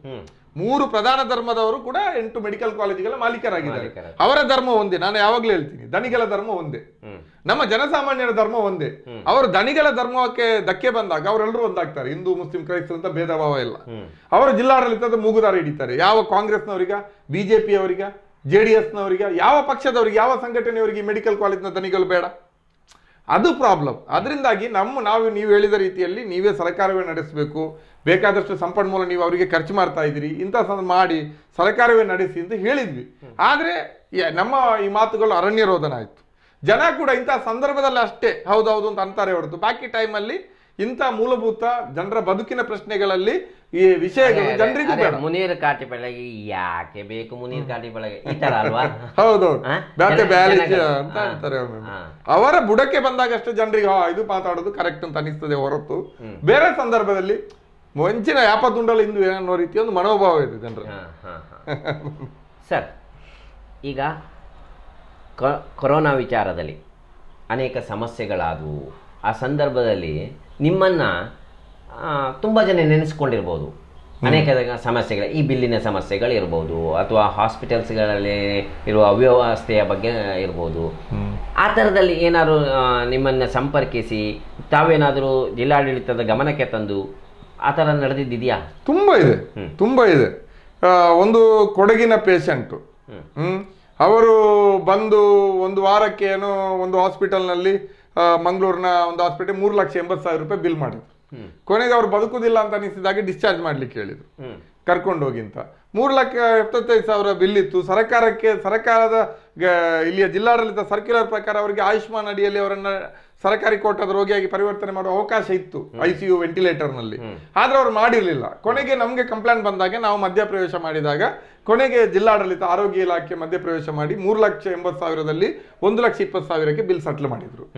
ಬಾಕಿಯನ್ನು ಆಯುಷ್ಮಾನ್ ಇನ್ನೊಂದರಲ್ಲಿ ಮತ್ತೆ ಅವರ ಹೆಚ್ಚುವರಿ ಆಗಿದ್ದು ಬಿಲ್ ಅನ್ನ ಬಿಡಿಸಿದ್ರು ಇಂಥ ತುಂಬಾ ನಮ್ಮ ಅಡ್ಯಾರ್ನ ಒಬ್ರು ಯಾವುದೋ ಒಂದು ಯಕ್ಷಗಾನ ಮೇಳ ನಡೆಸುವ ಒಂದು ಒಬ್ರು ಆಳುವರು. ಅವರ ಮಗ ನಲವತ್ತೊಂದು ವರ್ಷದವರು ಮಂಗಳೂರಿನ ಒಂದು ಪಲ್ನೀರ್ ರೋಡ್ ನಲ್ಲಿರುವಂತಹ ಆಸ್ಪತ್ರೆಯಲ್ಲಿ ಕೊರೋನಾ ಪೀಡಿತರಾಗಿ ಡೆತ್ ಆದ್ರು ನಲವತ್ತೊಂದು ವರ್ಷದವರು ಪಾಪ. ಆವಾಗ ಯಾರೋ ಒಬ್ರು ನಮ್ಮ ವಕೀಲ ಮಿತ್ರರ ಮೂಲಕ ಆಳುವರ ಕುಟುಂಬ ನನ್ನನ್ನು ಸಂಪರ್ಕ ಮಾಡಿ ನೋಡಿದಾಗ ಅವ್ರ ಬಿಲ್ಲೆಲ್ಲ ಎರ್ರಾಬಿರಿ ಹಾಕಿದ್ದಾರೆ. ನಾವು ಹೋಗಿ ಮಾತಾಡಿದ್ರೆ ಅವರು ನಮ್ಗೆ ಕಾನೂನು ಪಾಠ ಮಾಡ್ಲಿಕ್ಕೆ ಬಂದ್ರು. ಕೊನೆಗೆ ಅಧಿಕಾರಿಗಳಿಗೆ ಹೇಳಿ ನೋಡಿ ಈ ರೀತಿ ಬಿಲ್ ಮಾಡಿದ್ದಾರೆ ಅಂತ ಹೇಳಿದಾಗ ಕೊನೆಗೆ ಅವರು ಚೆಕಪ್ ಮಾಡಿದ್ರಲ್ಲಿ ಸಮಸ್ಯೆ ಇದೆ ಸರಿಪಡಿಸಿ ಅಂತ ಹೇಳಿದ್ರು. ನಾವು ಅವ್ರು ಸಾಯೋದಕ್ಕೆ ಮೂರು ದಿವಸ ಹಿಂದೆ ಹೋಗಿದ್ವಿ. ಆಮೇಲೆ ನಾನು ಹೇಳಿದೆ ಸರಿಯಲ್ಲ ಈ ರೀತಿ ಮಾಡೋದು ಅಂತ. ಅಷ್ಟೊತ್ತಿಗೆ ನಾಲ್ಕು ಲಕ್ಷ ರೂಪಾಯಿ ಬಿಲ್ ಆಗಿತ್ತು ಮತ್ತೆ ಎರಡು ದಿವಸ ಬಿಟ್ಟು ಡೆತ್ ಆದ್ರು ಮೂರು ದಿವಸ ಬಿಟ್ಟು ಐದು ಲಕ್ಷ ಅರವತ್ತು ಸಾವಿರ ರೂಪಾಯಿ ಬಿಲ್ ಮಾಡಿದ್ರು. ಡೆಡ್ ಬಾಡಿ ತಗೊಂಡು ಹೋಗ್ಬೇಕು ಅಂತಂದ್ರೆ ಅಷ್ಟು ಕೊಡಬೇಕು. ನಾನು ಜಿಲ್ಲಾಡಳಿತದ ಜೊತೆ ಮಾತಾಡಿ ಹೇಳಿದೆ ಅವ್ರ ಹತ್ರ ಒಂದು ಲಕ್ಷ ರೂಪಾಯಿ ಬಿಟ್ಟರೆ ಒಂದು ರೂಪಾಯಿ ದುಡ್ಡಿಲ್ಲ. ನೀವು ನೀವರು ಹಾಕಿರುವಂತಹದ್ದು ಅನ್ಯಾಯ ಬಿಲ್ಲು ಅಷ್ಟಕ್ಕಿಂತ ಜಾಸ್ತಿ ಇರೋ ದುಡ್ಡಿಲ್ಲ ನೀವು ಡೆಡ್ ಬಾಡಿ ಕೊಡ್ಲಿಲ್ಲ ಅಂದ್ರೆ ನಾವು ಅಲ್ಲಿ ಧರ್ನಾ ಕೂರ್ಬೇಕಾಗತ್ತೆ ಹಾಸ್ಪಿಟಲ್ನ ಮುಂದೆ ಅಂತ. ಆವಾಗ ತಕ್ಷಣ ಜಿಲ್ಲಾಡಳಿತ ಮಧ್ಯಪ್ರವೇಶ ಮಾಡಿ ಒಂದು ಲಕ್ಷ ರೂಪಾಯಿ ಬಿಲ್ ಪಡ್ಕೊಂಡು ಅವರ ಬಾಡಿ ಬಿಟ್ಕೊಡ್ತು. ಇಂಥದ್ದನ್ನು ತುಂಬಾ ಮಾಡಿದ್ವಿ. ಹಂಗಾದ್ರೆ ಇದು ಎಷ್ಟು ಎಷ್ಟರ ಮಟ್ಟಿಗೆ ಲೂಟಿ ಆಗಿರ್ಬೋದು? ಎಷ್ಟು ಜನರಿಂದ ಯಾವ ಮಟ್ಟಿಗೆ ಅವರು ವಸೂಲಿ ಮಾಡಿರ್ಬೋದು? ಎಲ್ರಿಗೂ ನಾವು ಸಹಾಯ ಮಾಡ್ಲಿಕ್ಕೆ ಆಗಲ್ಲಲ್ಲ ಎಲ್ರಿಗೂ ನಮ್ಮನ್ನು ತಲುಪಲಿಕ್ಕೆ ಆಗಲ್ಲ ನಮ್ಗೂ ಎಲ್ಲರನ್ನು ತಲುಪಕ್ಕಾಗಲ್ಲ. ಅದರಿಂದಾಗಿ ಎಷ್ಟೋ ಜನ ದುಡ್ಡು ಸಾಧ್ಯತೆ ಇರುವವರು ಬೇರೆ ಬೇರೆ. ಊರಿನಿಂದ ಬಂದವರಿಗೆ ಎಷ್ಟು ದೂರ ದೂರ ದೂರದವರಿಂದ ಬಂದವರಿಗೆ ಎಲ್ಲರೂ ಎಷ್ಟೋ ಜನ ತಮ್ಮ ಮನೆಯಲ್ಲಿದ್ದಂಥ ಚಿನ್ನ ಇನ್ನೇನು ಮಣ್ಣು ಮಸಿ ಕಿವಿ ಮನೆಯಲ್ಲಿ ಕತೆ ಹೆಣ್ಣು ಮಕ್ಕಳ ಕುತ್ತಿಗೆಯಲ್ಲಿದ್ದದನ್ನೆಲ್ಲ ಮಾರಾಟ ಮಾಡಿ ತಂದು ದುಡ್ಡು ಕಟ್ಟಿದ್ದಾರೆ. ಎಷ್ಟೋ ಜನ ಇವತ್ತು ಮನೆ ಆಟ ಇಟ್ಟು ಇದ್ದಾರೆ ಕೊರೋನಾದಿಂದ ಇದೊಂದು ದೊಡ್ಡ ದುರಂತ. ಗೊತ್ತಾಯ್ತಲ್ಲ? ಇಂಥ ಅನ್ಯಾಯಗಳಲ್ಲಿ ತುಂಬಾ ನಾವು ವ್ಯಕ್ತಿಗತವಾಗಿ ಮಧ್ಯಪ್ರವೇಶ ಮಾಡಿದ್ದೀವಿ. ದೂರು ಕೊಟ್ಟಿದ್ದು. ನಮ್ಮ ದೂರುಗಳು ಒಂದಿಷ್ಟು ದುಡ್ಡು ವಾಪಸ್ ಕೊಡಿಸಿದೆ ಹೊರತು ದೂರುಗಳ ಮೇಲೆ ಕ್ರಮ ಆಗಲಿಲ್ಲ. ಅದೆಲ್ಲ ಕಸದ ಬುಟ್ಟಿಗೆ ಸೇರಿದೆ ಬಟ್ ಇದು ಆಗಬೇಕಲ್ಲ ಸರ್. ಇದು ಆಗಿಲ್ಲ ಅಂತಂದ್ರೆ ನೀವು ನಿಮ್ಮ ಹೋರಾಟ ವ್ಯರ್ಥ ಆಗ್ಬಿಡ್ತದೆ. ಅಲ್ಲ ಪೂರ್ಣ ವ್ಯರ್ಥ ಅಂತ ಹೇಳಕ್ಕಾಗಲ್ಲ ಈಗ ನಾವು ನಾವು ಅಥವಾ ನಮ್ಮಂಥವ್ರು ನಾವು ನಾನು ಅಂತ ಮಾತಾಡ್ಲಿಕ್ಕೆ ಇಷ್ಟಪಡೋದಿಲ್ಲ. ಮತ್ತೆ ನಾವು ಮಾತ್ರ ಅಲ್ಲ ಬೇರೆ ಬೇರೆ ನಮ್ಮಂತ ಸಮಾನ ಮನಸ್ಸಿನ ಇಂಥ ವಿಷಯದಲ್ಲಿ ಫೈಟ್ ಮಾಡಿದ್ದಾರೆ. ವಾ ವಾಯ್ಸ್ ರೇಸ್ ಮಾಡಿಸ್ತಾ ಮಾಡ್ತಾ ಇರೋದ್ರಿಂದ ಒಂದಿಷ್ಟು ಒಂದು ಕಡಿವಾಣ ಇದೆ. ತೀರಾ ಅವರ ಇದು ಲೂಟಿ ಸುಲಿಗೆ ದೌರ್ಜನ್ಯಗಳು ನಿಲ್ದೇ ಇದ್ರು. ಅದರ ಸ್ಪೀಡ್ಗೆ ಒಂದಿಷ್ಟು ನಾವು ಬ್ರೇಕ್ ಬ್ರೇಕ್ ಮಾಡ್ಲಿಕ್ಕೆ ಆಗಿದೆ ಅಂದ್ರೆ ಒಂಥರ ರಸ್ತೆ ಉಬ್ಬು ಇದ್ದ ತರ. ಒಂದಿಷ್ಟು ಸ್ಲೋ ಹೋಗುವ ರೀತಿಯಲ್ಲಿ ಮಾಡಿದೀವಿ. ಆದ್ರೆ ಭವಿಷ್ಯ ಇದೆಲ್ಲ ಇವರು ಇದ್ದಾರೆ. ನಾವು. ಜಾಗೃತರಾಗಬೇಕು ಹೌದು ಜಾಗೃತ ಆಗ್ಬೇಕು. ಇವರ ಬಿಲ್ಲನ್ನೆಲ್ಲ ಚೆಕ್ ಮಾಡ್ತಾರೆ ಪ್ರಶ್ನೆ ಮಾಡ್ತಾರೆ ದೂರು ಕೊಡ್ತಾರೆ. ದೂರು ಕೊಟ್ರೆ ಕ್ರಮ ಆಗ್ಲಿಲ್ಲ ಅಂದ್ರೆ ಕನಿಷ್ಠ ತನಿಖೆ ಉತ್ತರ ಕೊಡೋದು ಇನ್ನೊಂದಂತೆಲ್ಲ ತುಂಬಾ ತೊಂದರೆ ಅಂತ ಹೇಳಿ ಒಂದಿಷ್ಟು ಎಚ್ಚರ ಇದೆ. ಮತ್ತೆ ನಾವು ಪ್ರತಿಭಟನೆಗೆ ಇಳಿತೀವಿ. ನಾವು ತುಂಬಾ ಸಲ ಖಾಸಗಿ ಆಸ್ಪತ್ರೆಗಳ ಮುಂದೆ ಪ್ರತ- ಪ್ರತಿಭಟನೆ ಮಾಡಿದ್ವಿ. ನಾವು ಹೇಳಿದ್ವಿ ಲಾಸ್ಟ್ ಎಂಟು ಶಾಸಕರ ಕಚೇರಿ ಮುಂದೆ ಧರಣಿ ಮಾಡಿದ್ವಿ. ಇದರಿಂದಾಗಿ ಒಂದು ಒಂದು ಸ್ವಲ್ಪ ಬ್ಯಾಲೆನ್ಸ್ ಇದೆ. ಬಹುಶಃ ನಾವು ಈ ರೀತಿ ಧ್ವನಿ ಎತ್ತಲಿಲ್ಲ ಅಂದ್ರೆ ಇಲ್ಲಿಯ ಜನರ ಕಥೆಯನ್ನು ಬಹುಶಃ ನಾವು ಅಂದಾಜು ಮಾಡ್ಲಿಕ್ಕೆ ಸಾಧ್ಯ ಇಲ್ಲ. ಆದ್ರೆ ನೀವು ಹೇಳಿದ ಪ್ರಕಾರ ಇಷ್ಟೆಲ್ಲ ಮಾಡಿದ್ರು ಏನಾಯ್ತು ಅಂದ್ರೆ ಖಂಡಿತ ಆ ಪ್ರಶ್ನೆ ನಮ್ಮ ಮುಂದಿದೆ. ಅದಕ್ಕೆ ಜನ ಜಾಗೃತ ಆಗ್ಬೇಕು. ಪೊಲಿಟಿಕಲಿ. ಎಜುಕೇಟ್ ಆಗ್ಬೇಕು. ನಮ್ಮ ರಾಜಕೀಯ ಒಲವು ನಿಲುವುಗಳು ಇಂತಹ ಪ್ರಶ್ನೆಗಳ ಮೇಲೆ ತೀರ್ಮಾನ ಆಗ್ಬೇಕು ಅಂತ ಹೇಳೋದು ನಾವು. ನಾವು ಮತ ಹಾಕ್ಲಿಕ್ಕೆ ಹೋಗುವಾಗ ಚುನಾವಣೆಯಲ್ಲಿ ನಾವು ಈ ಆರೋಗ್ಯದ ಪ್ರಶ್ನೆ ಉದ್ಯೋಗದ ಪ್ರಶ್ನೆ ಶಿಕ್ಷಣದ ಪ್ರಶ್ನೆ ವಸತಿಯ ಪ್ರಶ್ನೆ ಮಾತಾಡ್ಲಿಕ್ಕೆ ಶುರು ಮಾಡಿದ್ರೆ ಬಹುಶಃ ನಮ್ಮ ರಾಜಕೀಯ ಒಂದು ನಮ್ಮ ಈ ಪರಿವರ್ತನೆ ಆಗ್ತದೆ ಮತ್ತು ನಮ್ಮ ಇಂಥ ಸಮಸ್ಯೆಗಳಿಗೂ ಕೂಡ ಒಂದು ದಾರಿ ಆಗ್ತದೆ. ಇಲ್ಲಾಂದ್ರೆ ಎಂಟು ಮೆಡಿಕಲ್ ಕಾಲೇಜ್ ಇರುವಂತಹ ದಕ್ಷಿಣ ಕನ್ನಡ ಜಿಲ್ಲೆಯಲ್ಲಿ ವೆನ್ಲಾಕ್ನಂತ ದೊಡ್ಡ ಆಸ್ಪತ್ರೆ ಇಟ್ಕೊಂಡು ಒಂದು ಸರ್ಕಾರಿ ಮೆಡಿಕಲ್ ಕಾಲೇಜ್ ಇಲ್ಲ ಅಂದ್ರೆ ಎಂತ ಒಂದು ದುಸ್ಥಿತಿಯಲ್ಲಿದ್ದೀವಿ ನಾವು? ಇದಕ್ಕೆಲ್ಲ ಕಾರಣ ನಮ್ಮ ಜನರ ರಾಜಕೀಯ ಪ್ರಜ್ಞೆಯ ಕೊರತೆ ಅದಲ್ಲದೆ ಇನ್ನೇನಲ್ಲ. ಸರ್ ತಾವು ಜನಪ್ರತಿನಿಧಿಯಾಗಲು ಹೊರಟಿದ್ದಂಥವರು. ಚುನಾವಣೆಯಲ್ಲಿ ಸ್ಪರ್ಧಿಸಿದ್ರಿ. ಒಂದು ತಮ್ಮದೇ ಆದ ಒಂದು ಆದರ್ಶ ತಮ್ಮದೇ ಆದ ಒಂದು ಸಂಘಟನೆಯ ಪಕ್ಷದ ಸಿದ್ಧಾಂತದ ಆಧಾರದ ಮೇಲೆ ನೀವು ಸ್ಪರ್ಧೆ ಮಾಡಿದ್ರಿ. ನಿಮ್ಮ ಈ ಹೋರಾಟಗಳು ಇಷ್ಟು ಸತತವಾಗಿ ನೀವು ಹೆಚ್ಚು ಕಡಿಮೆ ಒಂದು ಎರಡು ದಶಕಗಳಿಂದ ನೀವು ಹೋರಾಟವನ್ನು ಮಾಡ್ಕೊಂಡು ಬಂದಿದ್ದೀರಿ. ಜನರಿಗೆ ಸ್ಪಂದಿಸ್ತಾ ಇದ್ದೀರಿ.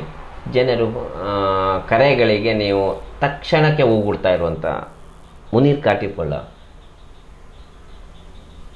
ಯಾಕಾಗಿ ಅಷ್ಟು ಸಣ್ಣ ಪ್ರಮಾಣದ ಓಟನ್ನು ಪಡೀಲಿಕ್ಕೆ ಸಾಧ್ಯ ಆಯಿತು? ನೀವು ಇದನ್ನು ಏನು ನಿರೀಕ್ಷೆ ನೀವು ಏನು ಯಾವ ರೀತಿ ವಿಶ್ಲೇಷಣೆ ಮಾಡ್ತೀರಿ ಇವಾಗ? ಅಂದ್ರೆ ನಾನು ಹೇಳಿದ್ನಲ್ಲ ನಮ್ಮ ಜನರಲ್ಲಿ ನಮ್ಮ ಈ ಎಲ್ಲಾ ಸಮಸ್ಯೆಗಳಿಗೆ ವ್ಯಕ್ತಿಗತವಾಗಿ ನಾನು ನಾಳೆ M R M L A ಆಗ್ತೀನಿ ಇಲ್ಲುವಂತ ಸೆಕೆಂಡ್ರಿ ಚುನಾವಣೆ ನಿಲ್ಲುವಾಗ್ಲೂ ಕೂಡ ನನಗೇನು ಎಂ ಎಲ್ ಎ ಆಗೇ ಬಿಡ್ತೀನಿ ಅನ್ನೋಂಥ ಭ್ರಮೆಗಳು ಕನಸುಗಳು ಇರಲಿಲ್ಲ. ನಮ್ಮ ಪಕ್ಷದ ತೀರ್ಮಾನ ನಾನೊಬ್ಬ ಕಮ್ಯುನಿಸ್ಟ್ ಪಕ್ಷದ ಕಾರ್ಯಕರ್ತನಾಗಿ ನನ್ನ ಪಕ್ಷದ ತೀರ್ಮಾನ ನಾನು ಸ್ಪರ್ಧೆ ಮಾಡಿದ್ದೀನಿ ನಮ್ಮ ರಾಜಕೀಯ ಹೋರಾಟ ಆದರೆ ಆದ್ರೆ ಹೌದು ನಾವು ನಿರೀಕ್ಷೆ ಮಾಡಿದಕ್ಕಿಂತಲೂ ಕಡಿಮೆ ಓಟ್ ಬಂದಿದೆ. ಅದರಲ್ಲಿ ಏನು? ಎರಡು ಮಾತಿಲ್ಲ. ಅದರಲ್ಲೂ ಅದರಲ್ಲೂ ಈ ಭಾಗ ನೀವು ನಿಂತಿರುವಂತ ಭಾಗ ಆ, ಕಮ್ಯುನಿಸ್ಟ್ ಅಂತಂದ್ರೆ ಹೆಚ್ಚಾಗಿ ಕಾರ್ಮಿಕರ ವಿಭಾಗದಲ್ಲಿ ಜಾಸ್ತಿ ಕಾಣಿಸ್ಕೊಳ್ತದೆ. ಕಾರ್ಮಿಕರೇ ಹೆಚ್ಚಿನ ಇವರಿಗೆ ಶಕ್ತಿ. ಶಕ್ತಿ ಹೌದು. ಇಲ್ಲಿ ಇಂಡಸ್ಟ್ರಿಯಲ್ ಏರಿಯಾ ಇದೆ. ಎಂ ಆರ್ ಪಿ ಎಲ್ ಅಂತ ದೊಡ್ಡ ದೊಡ್ಡ ಕಾರ್ಮಿಕರನ್ನು ಹೊತ್ತಿರುವಂತಹ ಏರಿಯಾ ಇದೆ ಇಲ್ಲಿ. ಸಾಕಷ್ಟು ದೊಡ್ಡ ಪ್ರಮಾಣದಲ್ಲಿ ಕಾರ್ಮಿಕರು ಇರುವಂತಹ ಕ್ಷೇತ್ರ ಈ ಕ್ಷೇತ್ರದಲ್ಲಿ. ಈ ಈ ನಿಮ್ಮ ಮತಗಳು ಬಹಳ ಸಣ್ಣದಾಗಿ ಹೋಯಿತು. ಖಂಡಿತ ಖಂಡಿತ. ನೀವು ಹೇಳಿರುವಂತ ಕೈಗಾರಿಕೆಗಳಂತ ಮಾತ್ರ ಅಲ್ಲ. ಪ್ರತಿ ಮನೆ ಮನೆಯಲ್ಲಿ ಬಿಡಿ ಕಾರ್ಮಿಕರಿದ್ದಾರೆ. ನಮ್ಮ ಚಳವಳಿ ಕಮ್ಯುನಿಸ್ಟ್ ಚಳವಳಿಯ ಪಕ್ಷದ ಟ್ರೇಡ್ ಯೂನಿಯನ್ನ ನೇರ ಫಲಾನುಭವಿಗಳು ಅವರು ಗೊತ್ತಾಯ್ತಲ್ಲ? ಆದ್ರೂ ಕೂಡ ನಮ್ಗೆ ತುಂಬಾ ಕಡಿಮೆ ಓಟ್ ಬಂತು. ನಾನು ಹೇಳಿದ್ನಲ್ಲ ಒಂದು ರಾಜಕೀಯ ಪ್ರಜ್ಞೆಯ ಕೊರತೆ. ಮತ್ತೆ ಇನ್ನೊಂದು ನಮ್ಮಲ್ಲಿರುವಂತ ಮತೀಯ ಧ್ರುವೀಕರಣ. ಒಂದು ಪಕ್ಷಕ್ಕೆ ಓಟ್ ಹಾಕಿದ್ರೆ ಮುನೀರ್ ಕಾಟಿಪಲ್ಲ ಅಥವಾ ಅವರ ಪಕ್ಷಕ್ಕೆ ಓಟ್ ಹಾಕಿದ್ರೆ ಇನ್ನೊಂದು ಪಕ್ಷ ಗೆದ್ದು ಬಿಡ್ಬೋದು ಅನ್ನುವಂತ ಭಯ ಎರಡೂ ಕಮ್ಯುನಿಟಿಗಳಿಗೆ ಇತ್ತು. ಎರಡು ನಮ್ಮ ಬಗ್ಗೆ ಏನು ನಿರಾಕರಣೆ ಇದೆ ಅಂತಲ್ಲ. ನಮ್ಮ ಬಗ್ಗೆ ಗೌರವ ಪ್ರೀತಿ ಇಲ್ಲ ಅಂತಲ್ಲ. ಜನರಿಗೆ ನಮ್ಮ ಮಾತಿನ ಬಗ್ಗೆ ನಂಬಿಕೆ ಇದೆ. ನನ್ನ ತುಂಬಾ ಭಾಷಣಗಳನ್ನ ಎಲ್ಲಾ ಪಕ್ಷಾತೀತವಾಗಿ ಜನ ಒಪ್ಕೊಂಡಿರೋದು ಇದೆ ಸೋಷಿಯಲ್ ಈ ಪಕ್ಷಕ್ಕೆ ಈ ಪಕ್ಷದ ಮುನೀರ್ಗೆ ಓಟ್ ಹಾಕಿದ್ರೆ ನಾವು ವಿರೋಧ ಮಾಡುವ ಇನ್ನೊಂದು ಪಕ್ಷಕ್ಕೆ ಅನುಕೂಲ ಆಗ್ತದೆ ಅನ್ನುವಂತ. ಆತಂಕ ಎರಡು ಪ್ರಧಾನ ಕಮ್ಯುನಿಟಿ ಹಿಂದೂ ಮತ್ತು ಮುಸ್ಲಿಂ ಕಮ್ಯುನಿಟಿ ಒಳಗಡೆ ಬಂತು. ಮತೀಯ ಧ್ರುವೀಕರಣ ಮತಗಳ ಧ್ರುವೀಕರಣವಾಗಿ ಪರಿವರ್ತನೆ ಹೊಂದಿತ್ತು. ಅದರಿಂದಾಗಿ ನಾವು ತೀರಾ ಸಪರೇಟ್ ಆಗಿಬಿಟ್ವಿ. ನಮ್ಮ ಸ್ಪರ್ಧೆ ಒಂದು ಕಡೆ ನಮ್ಗೆ ಅಬ್ಬರ ಮಾಡ್ಲಿಕ್ಕೆ ಆಗಿರ್ಲಿಲ್ಲ. ನಿಮಗೆ ಈ ನಿಮ್ಮ ನಿಮ್ಮಿಂದ ಹೆಚ್ಚಿನ ಫಲಾನುಭವಿಗಳಾದಂಥವರು ಕೂಡ ಈ ಇದನ್ನೆಲ್ಲ ಮರೆತು ಆ ಕ್ಷಣಕ್ಕೆ ಅವರು ತಮ್ಮದೇ ಆದ ಮಾರ್ಗವನ್ನು ಹಿಡಿದ್ರು. ಆ ಕ್ಷಣಕ್ಕೆ ಆ ಕ್ಷಣದ ಎಮೋಷನ್ ಅಲ್ಲ ಮರುದಿವಸ ಅವರಿಗೆ ಸಮಸ್ಯೆಗಳು ಅರಿವಾಗಿದೆ. ಆ ಆ ಕ್ಷಣದ ಎಮೋಷನಲ್ಗಳು ಏನು? ನಮ್ಮ ಧರ್ಮ ಅಪಾಯದಿಲ್ಲದೆ ಅನ್ನುವಂತ ಭಾವನೆ ಇದೆಯಲ್ಲ ಎರಡೂ ಕಮ್ಯುನಿಟಿಯಲ್ಲಿಯೂ ಕೂಡ ಬೇರೂರಿದೆ. ನಮ್ಮ ನಮ್ಮ ತುಳುನಾಡಲ್ಲಿ. ಸರ್ ನಿಮ್ಮ ನಿಮ್ಮ ಇದು- ಇದು ನಮ್ಮಂತವರ ಈಗ ನೀವು ಎರಡೂ ಧರ್ಮ ಧರ್ಮದ ಒಂದೇ ರೀತಿಯಲ್ಲಿ ನೋಡ್ತಾ ಇದ್ದೀರಿ. ನೀವು ಎರಡೂ ಧರ್ಮದ ಆ, ಈ- ಆ, ಏನು ಈ ನಾವೇನಂತೀವಿ ಅನಾಹುತಕಾರಿಗಳ ವಿರುದ್ಧವಾಗಿ ನಿಂತವರು ಅಲ್ವಾ? ಒಬ್ಬ ಕಮ್ಯುನಿಸ್ಟಿಗನಾಗಿ ನೀವು ಇದನ್ನು ಹೇಗೆ ವಿಶ್ಲೇಷಣೆ ಮಾಡ್ತೀರಿ? ದ ಧರ್ಮ ಎರಡೂ ಧರ್ಮದ ಬಗ್ಗೆ ಎರಡೂ ಧರ್ಮದ ಒಂದು ಉದ್ಘೋಷ ಅವರ ಏನು ಹೇಳ್ತೀವಿ ನಾವು ಆ, ಅವರ ಆವೇಶ. ಆವೇಶಗಳನ್ನ ಬಗ್ಗೆ ತಾವು ಏನ್ ಹೇಳಲಿಕ್ಕೆ ಬಯಸ್ತೀರಿ? ಅಂದ್ರೆ ನಾವು ಎಲ್ಲಾ ಧರ್ಮಗಳನ್ನ ಸಮಾನವಾಗಿ ಗೌರವಿಸ್ತೀವಿ. ಧರ್ಮದ ನಂಬಿಕೆಯಿಂದ ಯಾವ ಅನಾಹುತವೂ ಆಗುದಿಲ್ಲ. ಸಾಮಾನ್ಯವಾಗಿ ನಮ್ಮಲ್ಲಿ ಜನ ಅವರಷ್ಟಕ್ಕೆ ಅವರವರ ಧರ್ಮಗಳನ್ನ ಅನುಸರಿಸಿ ಅವರ ಆರಾಧನೆಗಳನ್ನ ಮಾಡ್ತಾ ಇರ್ತಾರೆ. ಆದ್ರೆ ಯಾವಾಗ ಈ ರಾಜಕಾರಣಕ್ಕೆ ಧರ್ಮ ಬಳಕೆ ಆಯಿತು ಅದರಿಂದ ಇವತ್ತು ಎಲ್ಲಾ ಸಮಸ್ಯೆಗಳು ಕೂಡ ಈ ರೀತಿ ಈ ಮಟ್ಟಕ್ಕೆ ಬಂದಿದೆ. ಅದರಲ್ಲಿ ಬಹಳ ಪ್ರಧಾನವಾಗಿ ಈ ರೀತಿಯ ಚಿಂತನೆಯುಳ್ಳ ರಾಜಕೀಯ ಪಕ್ಷಗಳು. ನಾವು ಒಂದು ಧರ್ಮವನ್ನು ರಕ್ಷಿಸ್ತೀವಿ, ಧರ್ಮೀಯರನ್ನು ರಕ್ಷಿಸ್ತೀವಿ ಅನ್ನುವಂಥವರು ಇನ್ನೊಂದು ಧರ್ಮದ ಬಗ್ಗೆ ತೋರಿಸಿ, ಭಯ ಹುಟ್ಟಿಸಿ ನಮ್ಮ ಧರ್ಮ ಅಪಾಯದಲ್ಲಿದೆ ಅನ್ನುವಂಥದ್ದನ್ನು ಹೇಳ್ತಾರೆ. ಅದರಿಂದಾಗಿ ಜನರ ಎಲ್ಲಾ ಸಮಸ್ಯೆಗಳು ಕೂಡ ಇವತ್ತು ಈ ಮಟ್ಟಕ್ಕೆ ಬಂದಿದೆ. ನಾನು ಅವಾಗ ಹೇಳಿದೆ ಏನಂತಾರೆ ಮುಸ್ಲಿಮರು ಅಪಾಯದಲ್ಲಿದ್ದಾರೆ, ಹಿಂದೂಗಳ ಅಪಾಯದಲ್ಲಿದ್ದಾರೆ, ಕ್ರೈಸ್ತರ ಅಪಾಯದಲ್ಲಿದ್ದಾರೆ, ಅಲ್ವಾ? ಈ ರೀತಿಯಾದಂಥ ಭಾವನೆ ವ್ಯಾಪಕವಾಗಿದೆ. ಅದರ ಹಿಂದೆ ಈ ರಾಜಕೀಯ ಅಜೆಂಡಾಗಳಿದೆ. ಈ ರೀತಿ ಆದಾಗ ನಿಜವಾಗಿಯೂ ಕೂಡ ನಾನು ಆವಾಗಲೇ ಹೇಳಿದಂತೆ ನಾವು ಭಾವಿಸೋದು ಎರಡು ಧರ್ಮ ಇದೆ ಅಂತ. ಎರಡು ಜಾತಿ ಇದೆ. ಒಂದು ದುಡಿಯುವವರ ಜಾತಿ ಇನ್ನೊಂದು ದುಡಿಸ್ಕೊಳ್ಳುವವರ ಜಾತಿ. ಒಂದು ಶ್ರೀಮಂತರ ಜಾತಿ ಇನ್ನೊಂದು ಬಡವರ ಜಾತಿ. ಒಂದು ವ್ಯಾಪಾರಿಗಳ ಜಾತಿ ಇನ್ನೊಂದು ಗ್ರಾಹಕರ ಜಾತಿ. ಈ ರೀತಿ ಇದೆ ಅಂತ ನಾವು ವಿಶ್ಲೇಷಿಸ್ತೀವಿ. ಆದ್ರೆ ನಾವು ಹಿಂದೂ ಮುಸ್ಲಿಂ ಅಂತ ಗಲಾಟೆ ಮಾಡ್ತಾ ಇರೋದ್ರಿಂದ ಈಗ ನೀ- ನೀವು ನಂದು ಬಹುಶಃ ಮನೆಗಳಲ್ಲಿ ನಮ್ಮ ಕುಟುಂಬದಲ್ಲಿ ಸಮಸ್ಯೆಗಳು ಒಂದೇ ರೀತಿ ಇರಬಹುದು ಆದ್ರೆ ನಾನು ಮುಸ್ಲಿಮನಾಗಿ ಆಲೋಚನೆ ಮಾಡ್ತೀನಿ ನೀವು ಹಿಂದೂ ಆಗಿ ಆಲೋಚನೆ ಮಾಡ್ತೀರಿ. ಆದ್ರೆ ಒಬ್ಬ ಮೆಡಿಕಲ್ ಕಾಲೇಜಿನ ಓನರ್ ಒಂದು ಶಿಕ್ಷಣ ಸಂಸ್ಥೆಯ ದನಿ ಒಂದು ಆಸ್ಪತ್ರೆಯ ಓನರ್. ಅವನೇನ್ ಮಾ- ಆಲೋಚನೆ ಮಾಡ್ತಾನೆ ನಾವೆಲ್ಲರೂ ಒಂದೇ. ನಮ್ಮ ಈ ಆಸ್ಪತ್ರೆ ಪ್ರಶ್ನೆಗಳ ಬಗ್ಗೆ ಮಾತಾಡ್ತಾ ಇದ್ದಾರೆ ಖಾಸಗೀಕರಣದ ವಿರುದ್ಧ ಮಾತಾಡ್ತಾ ಇದ್ದಾರೆ ಅಂದ್ರೆ ನಮ್ಮ ಧರ್ಮದಲ್ಲಿ ಅಪಾಯದಲ್ಲಿ ಇದೆ ಅಂತ ಆ ಮಾಲೀಕರೆಲ್ಲ ಒಂದಾಗ್ತಾರೆ. ಸರ್ಕಾರದ ಮೇಲೆ ಒತ್ತಡ ಹಾಕ್ತಾರೆ. ಆದ್ರೆ ನಾವು ಯಾವತ್ತೂ ಒಂದಾಗೋದಿಲ್ಲ. ನಾವು ಯಾವತ್ತೂ ಒಂದಾಗ ನಾವು ಎಲ್ಲಿವರೆಗೆ ಒಂದಾಗಲ್ಲ ಜೈಲಿಗೆ ಹೋದ್ರೂ ಒಂದಾಗೋದಿಲ್ಲ. ಮಂಗಳೂರಿನಲ್ಲಿ ಜೈಲು ಕೂಡ ಎರಡು ತುಂಡಾಗಿದೆ. ಒಂದು ಮುಸ್ಲಿಂ ಜೈಲು ಇನ್ನೊಂದು ಹಿಂದೂ ಜೈಲು ಎ ಬ್ಲಾಕು ಮುಸ್ಲಿಮರಿಗೆ ಈ ಬಿ- ಬಿ ಬ್ಲಾಕ್ ಹಿಂದೂಗಳಿಗೆ. ಅಲ್ಲಿಯೂ ಕೂಡ ನಮ್ಮ ಯುದ್ಧ ಧರ್ಮ ರಕ್ಷಣೆಯ ಯುದ್ಧ ಮುಂದುವರಿಯುತ್ತದೆ. ಅದರಿಂದಾಗಿ ಇವತ್ತು ಈ ಸಮಸ್ಯೆ ಇದೆ. ಅದರ ಪರಿಣಾಮವಾಗಿ ರಾಜಕೀಯವಾಗಿ ನಮ್ಮಂಥವ್ರು ಹಿನ್ನಡೆ ಅನುಭವಿಸಬೇಕಾಗಿ. ಯಾಕಂದ್ರೆ ನಾವು ಧರ್ಮವನ್ನು ಬಳಸಲ್ಲ ಜಾತಿಯನ್ನ ಬಳಸಲ್ಲ ಹಣವನ್ನ ಬಳಸಲ್ಲ ಜನರ ಭಾವುಕತೆಯನ್ನು ಬಳಸಲ್ಲ. ನಾವು ವಾಸ್ತವದ ಮೇಲೆ ರಾಜಕಾರಣ ಮಾಡ್ತಾ ಇದ್ದೀವಿ. ಈ ಭಾವುಕತೆಯ ಅತಿಯಾದಂಥ ವಿಜೃಂಭಣೆ ನಮ್ಮನ್ನ ಹಿಂದಕ್ಕೆ ತಳ್ಳಿದೆ ನಮ್ಮನ್ನು ರಾಜಕೀಯವಾಗಿ ಹಿಂದಕ್ಕೆ ತಳ್ಳಿದೆ ಮಾತ್ರ ಅಲ್ಲ ಜನರ ನಿಜವಾದ ಸಮಸ್ಯೆಗಳನ್ನು ಕೂಡ ಹಿಂದಕ್ಕೆ ತಳ್ಳಿದೆ.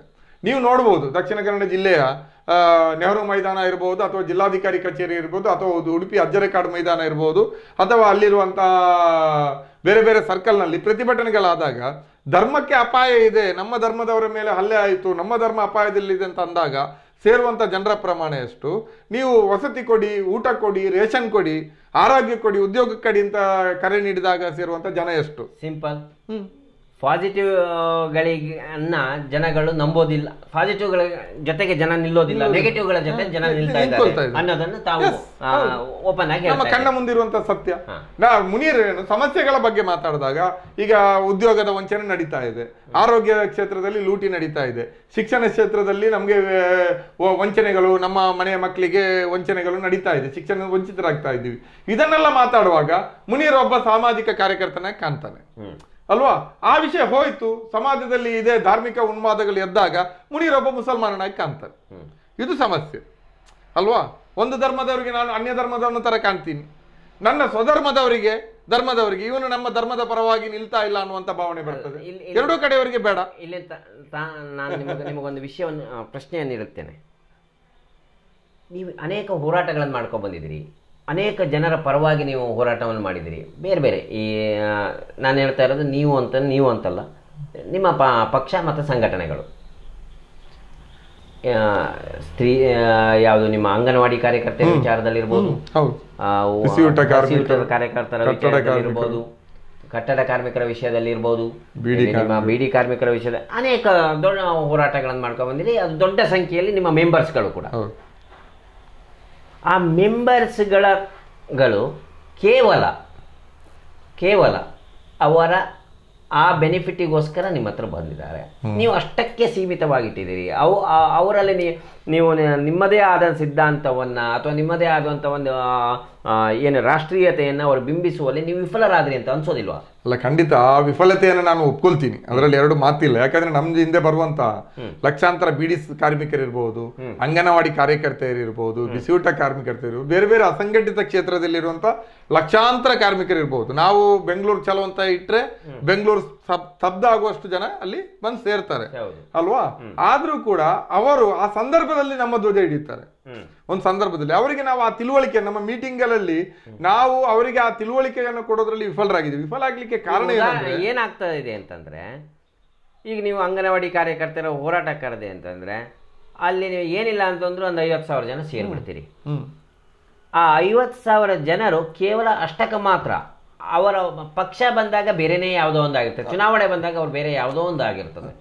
ಖಂಡಿತ. ಇದನ್ನು ನೀವು ಅಡ್ರೆಸ್ ಮಾಡೋದು ಹೇಗೆ ಅನ್ನುವಂಥದ್ದು. ವಿಫಲ ಆಗಿದ್ದೀವಿ. ಇಲ್ಲ ಅಂತಲ್ಲ ಯಾಕೆಂದ್ರೆ ಯಾಕೆ ಅಂತಂದ್ರೆ ಒಂದು ರಾಜಕೀಯ ಪಕ್ಷವಾಗಿ ಈ ವಿಫಲತೆ ಇರಬಾರ್ದು ಅಂತ ಹೇಳ್ಬಿಟ್ಟು. ಖಂಡಿತ. ನಾವು ಒಪ್ತೀವಿ. ನಮ್ಮಲ್ಲಿ ಅದರ ಬಗ್ಗೆ ವಿಮರ್ಶೆಗಳು ನಡೀತಾ ಇದೆ. ಆದ್ರೆ ಸಮಸ್ಯೆ ಏನಂದ್ರೆ ಇತ್ತೀಚಿನ ದಶಕಗಳಲ್ಲಿ ನಡೆದು ಬಂದಿರುವಂತಹ ಪರಿವರ್ತನೆಗಳು ಸಾಮಾಜಿಕ ಆರ್ಥಿಕ ಕ್ಷೇತ್ರದಲ್ಲಾಗಿರುವಂತಹ ಬೆಳವಣಿಗೆಗಳು ಐಡೆಂಟಿಟಿ ಪೊಲಿಟಿಕ್ಸ್ ಅನ್ನ ಬಹಳ ಪ್ರಧಾನವಾಗಿ ಇವತ್ತು ಜನರ ಮುಂದೆ ತಂದಿದೆ. ಗುರುತಿನ ರಾಜಕಾರಣ. ನನಗೊಂದು ಗುರುತು ಬೇಕು ನನಗೊಂದು ಅಸ್ಮಿತೆ ಬೇಕು. ನಾನು ಮುಸಲ್ಮಾನ ನಾನು ಹಿಂದೂ ನಾನು ಬಿಲ್ಲವ ನಾನು ಒಕ್ಕಲಿಗ ನಾನು ಲಿಂಗಾಯತ ನಾನು ದಲಿತ. ಈ ರೀತಿ ಇದೆಯಂತ ಅಸ್ಮಿತೆ ಇದೆಯಲ್ಲ ಭಾಷಾ ಅಸ್ಮಿತೆ ಮತ್ತು ಧಾರ್ಮಿಕ ಅಸ್ಮಿತೆ ಜಾತಿ ಜಾತಿ ಪ್ರಧಾನ. ಜಾತಿ ಪ್ರಧಾನ ಭಾಷಾ ಪ್ರಧಾನ ಧಾರ್ಮಿಕ ಪ್ರಧಾನ. ಅದರಿಂದಾಗಿ ಇವರು ಬರ್ತಾರೆ ಸಮಸ್ಯೆಗಳಾದಾಗ ಅಥವಾ ನಮ್ಮ ಯೂನಿಯನ್ ಅಲ್ಲಿ ಸದಸ್ಯರಾಗಿ ಕೆಂಬಾವಟ್ ಇಟ್ಕೊಂಡೇ ಸ್ಟ್ರಗಲ್ ಮಾಡ್ತಾರೆ. ಆದ್ರೆ ಆಚೆಗೆ ಅವರು ಮನೆಗೆ ಮನೆಗೆ ಹೋದಾಗ ನೀವು ಈಗ ನಮ್ಮಲ್ಲಿ ಬಿಡಿ ಕಾರ್ಮಿಕರಿದ್ದಾರೆ ಅಲ್ವಾ? ಮಹಿಳೆಯರು. ಇವರು ಕೂಡ ಅಂಗನವಾಡಿ ಹಾಕಂದ್ರೆ ಕೂಡ ಮಹಿಳೆಯರು. ಆದ್ರೆ ಅವರ ಮನೆಯ ರಾಜಕಾರಣವನ್ನು ಯಾರು ತೀರ್ಮಾನ ಮಾಡ್ತಾರೆ ಅಂದ್ರೆ ಅವರ ಮಕ್ಕಳು. ಅವರ ಮನೆಯಲ್ಲಿರುವ ಗಂಡಸರಲ್ಲಿಯೂ ಕೂಡ ಯುವಕರು ತೀರ್ಮಾನವನ್ನು ಮಾಡ್ತಾರೆ. ಅವರು ಏನಾಗಿದ್ದಾರೆ? ಅವರು ಈ ಇದಕ್ಕೆ ಎಡಿಕ್ಟ್ ಆಗಿದ್ದಾರೆ. ಧರ್ಮ ಯುದ್ಧದ ರಾಜಕಾರಣಕ್ಕೆ ಎಡಿಕ್ಟ್ ಆಗಿದ್ದಾರೆ. ತಮ್ಮ ಅಕ್ಕ ಅಕ್ಕಂದಿರೋ ತಮ್ಮ ತಾಯಂದಿರೋ ಕೆಂಬಾವುಟ ಹಿಡ್ಕೊಂಡು ಯೂನಿಯನ್ಗೆ ಹೋದ್ರೂ ಕೂಡ ರಾಜಕೀಯವಾಗಿ ಅವರ ನಿರ್ಧಾರವನ್ನ ಏನಿರಬೇಕು ಅಂತ ಇವರು ನಿರ್ಧರಿಸ್ತಾರೆ ಮನೆಯಲ್ಲಿ. ಮತ್ತೆ ಯೂನಿಯನ್ ಹೋರಾಟ ಮುಗಿಸಿ ಬಂದ್ಮೇಲೆ ಮನೆಯಲ್ಲಿ ನಡೆಯುವಂತ ಚರ್ಚೆಗಳು ಜಾತಿ ಧರ್ಮ ಭಾಷೆ ಈ ರೀತಿಯತ್ತೆ ಮತ್ತೆ ಇನ್ನೊಂದು ಕಡೆಯಲ್ಲಿ ನಡೆದಿರುವಂತ ಈ ಮಾರುಕಟ್ಟೆ ಕೊಳ್ಳುಬಾಕ ಸಂಸ್ಕೃತಿ ನಮ್ಗೆ ಅದು ಬೇಕು ಇದು ಬೇಕು ಅನ್ನುವಂಥದ್ದು. ನಮ್ ಜೊತೆ ಬಂದ್ರೆ ಅಂಥದ್ದೇನು ಸಿಗಲ್ಲ. ನಿಮ್ಗೆ ಇವತ್ತಿಗೆ ಬದುಕಿ ನಮ್- ನಿಮ್ಮ ಬದುಕಿನ ಭದ್ರತೆಗಾಗಿ ನಾವು ಹೋರಾಡ್ತೀವಿ. ಆದ್ರೆ ಈ ಜನ ಏನ್ ಮಾಡ್ತಾರೆ ಅಂದ್ರೆ ತಕ್ಷಣಕ್ಕೆ ಸಿಗುವಂತ ಲಾಭಗಳು ಇಲೆಕ್ಷನ್ ಟೈಮಲ್ಲಿ ದುಡ್ಡು ಹಂಚ್ತಾರೆ. ಅಲ್ವಾ? ನಮ್ಮ ಜಾತಿಯ ಅವನು ದೊಡ್ಡ ಶ್ರೀಮಂತ ಆಗಿದ್ದಾನೆ ನಮ್ಮ ಲೀಡರ್ ಹಿಂಗೆ ಅದ್ರ ಹಿಂದೆ ಹೋಗ್ತಾರೆ ಹಣದ ಹಿಂದೆ ಹೋಗ್ತಾರೆ. ಈ ಒಂದು ಅಸ್ಮಿತೆಯ ರಾಜಕಾರಣ ಮತ್ತು ಹಣದ ರಾಜಕಾರಣ ಇವತ್ತು ನಮ್ಮ ಜೊತೆ ಈ ಕಾರ್ಮಿಕ ವರ್ಗ ದೊಡ್ಡ ಸಂಖ್ಯೆಯಲ್ಲಿ ಇದ್ರೂ ಕೂಡ ಯೂನಿಯನ್ ಆಗಿ. ರಾಜಕೀಯವಾಗಿ ನಮ್ಮ ಜೊತೆ ನಿಲ್ಲಿಸ್ಲಿಕ್ಕೆ ಆಗ್ತಾ ಇಲ್ಲ. ಅದೊಂದು ದೊಡ್ಡ ವೈಫಲ್ಯ. ಮೂರು ದಶಕದ ಇದದು ಬೆಳವಣಿಗೆ. ಒಂದು ಕಾಲದಲ್ಲಿ ದಕ್ಷಿಣ ಕನ್ನಡ ಜಿಲ್ಲೆಯಲ್ಲಿ ಎಪ್ಪತ್ತರ ದಶಕದವರೆಗೆ ಕಾಂಗ್ರೆಸ್ ಮತ್ತು ಕಮ್ಯುನಿಸ್ಟ್ ಬಿಟ್ಟರೆ ಇನ್ನೊಂದು ಪಕ್ಷವೇ ಇರಲಿಲ್ಲ. ನಮ್ಮ ದಕ್ಷಿಣ ಕನ್ನಡ ಉಡುಪಿಯಲ್ಲಿ ಕೂಡ ಇಪ್ಪ ಹದಿನೈದು ಇಪ್ಪತ್ತು ವರ್ಷದ ಹಿಂದೆವರೆಗೂ ಕೂಡ ಪುರಸಭೆ ನಾವು ಆಳ್ತಾ ಇದ್ವಿ. ಮಂಗಳೂರು ಇನ್ನು ಮಹಾನಗರ ಪಾಲಿಕೆ ಆಗುವುದಕ್ಕಿಂತ ಹಿಂದೆ ಮುನ್ಸಿಪಾಲಿಟಿ ಇದ್ದಾಗ ಇಲ್ಲಿ ಕಮ್ಯುನಿಸ್ಟ್ ಚೇರ್ಮನ್ ಇದ್ರು ಮುನ್ಸಿಪಾಲಿಟಿಗೆ. ಅಂತ ಒಂದು ಕಾಲ ಇತ್ತು. ಆದ್ರೆ ನಿಧಾನಕ್ಕೆ ಈ ಜಾಗತೀಕರಣದ ಭಾಗವಾಗಿ ಆರ್ಥಿಕ ಮಾರುಕಟ್ಟೆ ಸಂಸ್ಕೃತಿ ಮತ್ತು ಈ ಐಡೆಂಟಿಟಿ ಅಸ್ಮಿತೆಯ ರಾಜಕಾರಣ ನಮ್ಮನ್ನ ಈ ಸಂದರ್ಭದಲ್ಲಿ ನಾನೊಂದು ವಿಷಯವನ್ನು ತಾನು ಕೇಳ್ತೀನಿ ಮಾತ್ರ. ಈ ಕಮ್ಯುನಿಸ್ಟ್ ಈ ಕಾರ್ಮಿಕರ ಒಂದು ವಿಭಾಗವಾಗಿ ಯೂನಿಯನ್ ಭಾಗವಾಗಿ ಎಲ್ಲೋ ಒಂದು ಕಡೆ ಬಂಡವಾಳಶಾಹಿಗಳನ್ನು ತುಳಿಯುವ ಪ್ರಯತ್ನ ಅಥವಾ ಈ ಹೋರಾಟಗಳು ಅಥವಾ ಇವರ ಹರತಾಳಗಳ ಮೂಲಕ ಬಹಳ ಕಿರಿಕಿರಿಯನ್ನು ಈಗ ಏನು ಹೇಳ್ತೇವೆ ಮಾಲೀಕರ ಮೇಲೆ ಹೇರಿದ ಪರಿಣಾಮ. ಹಂತ ಹಂತವಾಗಿ ಅದು ಯಾಕೆ ಅಂತಂದರೆ ಅನೇಕ ಫ್ಯಾಕ್ಟ್ರಿಗಳು ಈ ಹೋರಾಟಗಳ ಕಾಲಕ್ಕೆ ಮುಚ್ಚಿದ್ದನ್ನು ನಾವು ಕಾಣ್ಬೋದು. ಅಲ್ಲ ಅದು ದೊಡ್ಡ ಮಿಥ್ಯೆ ಅದು. ಯಾಕೆಂದ್ರೆ ಇಲ್ಲಿ ಒಂದು ಕಾಲಕ್ಕೆ ತುಂಬಾ ಟೈಲ್ಸ್ ಫ್ಯಾಕ್ಟ್ರಿಗಳು ಇದ್ವು ಟೈಲ್ ಫ್ಯಾಕ್ಟ್ರಿಗಳು ಹಂಚಿನ ಯಾವೆಲ್ಲ ಬಹುತೇಕ ಮುಚ್ಚಿದಾವೆ. ಉಡುಪಿ ಭಾಗದಲ್ಲಿ ಹೋದ್ರೆ ಒಂದಿಷ್ಟು ಇನ್ನು ಕೂಡ ಕುಂದಾಪುರ ಉಡುಪಿ ಕಡೆ ಇದಾವೆ ಅದು ಮುಚ್ಚಲಿಕ್ಕೆ ಕಮ್ಯುನಿಸ್ಟರ ಹೋರಾಟ ಅಂತ ಹೇಳಿದ್ರೆ ಖಂಡಿತ ಒಪ್ಪತಕ್ಕಂತ ವಿಚಾರ ಅಲ್ಲ. ಯಾಕೆಂದ್ರೆ ಈ ಆರ್ ಸಿ ಸಿ ಇವುಗಳೆಲ್ಲ ಬಂದ ಮೇಲೆ ಸಹಜವಾಗಿ ಹಂಚಿನ ಇವುಗಳಿಗೆ ಬೇಡಿಕೆ ಕುಸಿಯಿತು. ಅದರಿಂದಾಗಿ ಅದು ಹೋಯಿತು. ಆದ್ರೆ ಅದನ್ನು ಕೂಡ ಅದೆಲ್ಲ ಮುಚ್ಚಲಿಕ್ಕೆ ಕಮ್ಯುನಿಸ್ಟರ ಹೋರಾಟ ಕಾರಣ ಅಂತ ಹೇಳ್ತಾರೆ.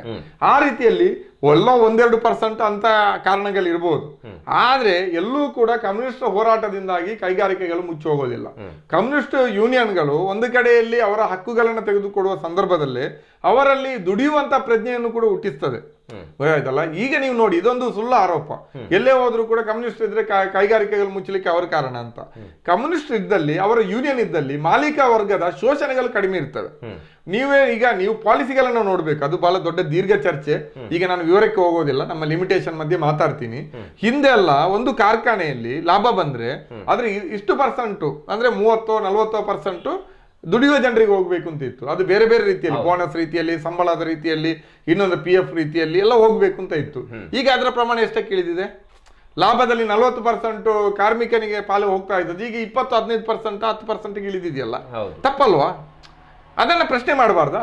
ಈಗ ಈಗ ನೋಡಿ ದಿಢೀರಾಗಿ ಒಂದು ಕಾಲಕ್ಕೆ ಈ ಕಾರ್ಯ ಮಾಲೀಕ ವರ್ಗದಲ್ಲಿ ಏನಿತ್ತು? ಎಲ್ಲವನ್ನು ಕೂಡ ನಾವು ಪಬ್ಲಿಕ್ ಸೆಕ್ಟರ್ ಅಲ್ಲಿ ಮಾಡಿದ್ರು ನೆಹರು ಅವರು. ಅಲ್ವಾ? ಕೈಗಾರಿಕೆಗಳನ್ನೆಲ್ಲ ಸ್ಥಾಪನೆ ಮಾಡಿದ್ದು ಭಾರತ ದೇಶದ ಸಂಪತ್ತಿನಿಂದ. ಶ್ರೀಮಂತರ ಹತ್ರ ಈ ಬಂಡವಾಳಶಾಹಿಗಳ ಹತ್ರ ಸಂಪತ್ತೇ ಇರಲಿಲ್ಲ. ಆವಾಗ. ಸಂಪತ್ತು ಸೃಷ್ಟಿಯಾದದ್ದು ನಮ್ಮ ಭಾರತ ದೇಶದ ಜನರ ದುಡಿಯೋ ಜನರ ಸಂಪತ್ತಿನಿಂದ. ಇವತ್ತು ಅದೆಲ್ಲವೂ ಕೂಡ ಮಾಲೀಕ ವರ್ಗದ ಪಾಲಾಗ್ತದೆ. ಮಾಲೀಕ ವರ್ಗಕ್ಕೆ ಏನಾಗಿದೆ? ಕಾರ್ಮಿಕ ಯೂನಿಯನ್ಗಳಿದ್ರೆ ಕಮ್ಯುನಿಸ್ಟ್ ಯೂನಿಯನ್ಗಳಿದ್ರೆ ಹಕ್ಕುಗಳನ್ನ ಕೇಳ್ತಾರೆ. ಅವರು ಇರಬಾರ್ದು. ಅವರು ಇರಬಾರ್ದು ಅಂತ. ಅದಕ್ಕಾಗಿ ಈಗ ಏನಾಗಿದೆ ಅಂದ್ರೆ ಯೂನಿಯನ್ಗಳಲ್ಲಿ ಕಾರ್ಮಿಕರ ಹಕ್ಕುಗಳನ್ನೇ ತೆಗೆದಾಕಿದ್ದಾರೆ. ಎಷ್ಟೋ ಇಪ್ಪತ್ತ ಏನೋ ಕಾರ್ಮಿಕ ಇವುಗಳಿತ್ತು ಕಾಯ್ದೆಗಳಿತ್ತು. ಅವುಗಳನ್ನೆಲ್ಲ ತೆಗೆದುಹಾಕಿ ಈಗ ಮೂರು ನಾಲ್ಕು ಏನೋ ಕಾರ್ಮಿಕ ಸಂಹಿತೆ ಅಂತ ಮಾಡಿದೆ ಈ ಸರ್ಕಾರ. ಅಂದ್ರೆ ನಾವು ದುಡಿಯುವ ಜನರ ಹಕ್ಕುಗಳನ್ನ ಕಲ್ಕೊಂಡಿದ್ವಿ ಅದನ್ನ ಪ್ರಶ್ನೆ ಮಾಡಬಾರ್ದಾ? ಅಲ್ಲ ನಿಮಗೆ ನಿಮ್ಮ ನಾನು ಯಾಕೆ ಹೇಳ್ತಾ ಇದ್ದೇನೆ ಅಂತ ಕೊನೆಯಲ್ಲಿ ನಿಮ್ಮಲ್ಲಿ ಈಗ ಕೇರಳ ಮತ್ತೆ ಪಶ್ಚಿಮ ಬಂಗಾಳದಲ್ಲಿ ಬಹಳ ದೊಡ್ಡ ಪ್ರಮಾಣದಲ್ಲಿ ಇರುವಂತ ಪಶ್ಚಿಮ ಬಂಗಾಳವನ್ನು ಕಳ್ಕೊಂಡ್ಬಿಟ್ರಿ ನೀವು. ಕೇ ಕೇರಳದಲ್ಲಿ ಸ್ವಲ್ಪ ಮಟ್ಟಿಗೆ ಇನ್ನೂ. ಜೀವಂತವಾಗಿದ್ದೀರಿ ಅಲ್ವಾ? ಹಾಗಾಗಿ ನಾನು ಕೇಳ್ತಾ ಇದ್ದೀನಿ. ಬಟ್ ನಮ್ಮ ಇದರಲ್ಲೂ ಕೂಡ ಇಲ್ಲಿ ಇವತ್ತಿಗೂ ಶ್ರೀರಾಮ್ ರೆಡ್ಡಿ ಅವರು ನಾವು ಕೊರತೆಯನ್ನು ವಿಧಾನಸಭೆಯಲ್ಲಿ ಕಾಣ್ತಾ ಕಾಣ್ತೀವಿ ಅಲ್ವಾ? ಅವರೊಬ್ಬ ಒಳ್ಳೆ ವಾಗ್ಮಿ. ಮತ್ತೆ ಹಾಗೆ ಎಲ್ಲ ವಿಷಯದಲ್ಲೂ ಅವರು ಅಪ್ಪಟಿ ಏನ್ ಹೇಳಿ ಒಂದು ಪಟ್ಟಿ ಹಿಡಿದು ಒಂದು ಜನರ ಪರವಾಗಿ ಮಾತಾಡ್ತಾ ಇರುವಂತಹ ಒಂದು ಚಾತುರ್ಯ ಅಂತ ಉಳ್ಳಂಥವ್ರು ಅವರು ಅವ್ರ ಇದನ್ನ ನಾವು ಇವತ್ತು ಕಾಣ್ತೇವೆ. ಯಾಕಂದ್ರೆ ಇವತ್ತೆಲ್ಲ ತ ತೊಡೆ ಬಡದು ಮಾತಾಡುವವರೇ ನಮ್ಮ ಇವತ್ತಿ ಇರುವವರ ಮಧ್ಯೆ ಅವೆಲ್ಲ ನಶಿಸಿ ಹೋಗಿರುವಂಥ ಈ ಸಂದರ್ಭದಲ್ಲಿ ನಾವು ಕಾಣ್ತಾ ಇದೀವಿ ಎಲ್ಲ ಒಂದ್ ಕಡೆ ಕಮ್ಯುನಿಸ್ಟಿನ ಒಬ್ಬರೇ ಒಬ್ಬರು ಶಾಸಕರನ್ನು ನಾವು ಕಾಣೋದಿಲ್ಲ. ಹೌದು. ನಾಯಕನನ್ನು ನಾವು ಕಾಣ್ತಾ ಇಲ್ಲ. ಕೇವಲ ಹೋರಾಟಗಳ ಬಾವುಟ ಕೆಂಪು ಬಾವುಟ ಹಿಡಿದು ಅಲ್ಲಿ ಇಲ್ಲಿ ಹೋರಾಟ ಮಾಡೋದನ್ನು ಬಿಟ್ಟರೆ ಒಬ್ಬ ಜನನಾಯಕನನ್ನು ನಾವು ಕಾಣಿಸ್ತಾ ಇಲ್ಲ. ಆ ಅದಕ್ಕೆ ಏನಾಯ್ತು? ಅಂದ್ರೆ ಒಂದು ಏನಂದ್ರೆ ನೀವು ಹೇಳಿದ್ದನ್ನು ಒಪ್ತೀನಿ. ಒಂದು ಕಾಲಕ್ಕೆ ಎಂಬತ್ತ ಐದರಲ್ಲಿ ವರೆಗೆ ಏಳು ಜನ ಎಂಟು ಜನ ಶಾಸನ ಸಭೆಯಲ್ಲಿ ಇರ್ತಾ ಇದ್ರು. ಅದರಿಂದ ಒಂದು ಬ್ಯಾಲೆನ್ಸ್ ಇತ್ತು. ದುಡಿಯುವ ಜನರ ರೈತಾಪಿ ಜನರ ಶ್ರಮಜೀವಿಗಳ. ವಾಯ್ಸ್.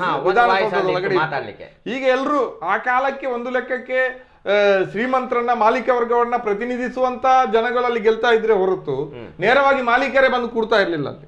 ಈಗ ಏನಾಗಿದೆ ದುಡಿಯೋ ಜನರ ಪ್ರೆಸೆಂಟೇಷನ್ ಝೀರೋ ಆಗಿದೆ ಅಲ್ಲಿ ಪ್ರೆಸೆಂಟು ಇನ್ನೊಂದು ಕಡೆ ಮಾಲೀಕರ ನೇರವಾಗಿ ಶಾಸನ ಸಭೆಗಳನ್ನ ಪ್ರ- ಪ್ರ- ಪ್ರವೇಶಿಸ್ತಾ ಇದ್ದಾರೆ. ಕೋಟ್ಯಾಧೀಶರು ಮಾತ್ರ ಕಾಣ್ತಾ ಇದ್ದಾರೆ.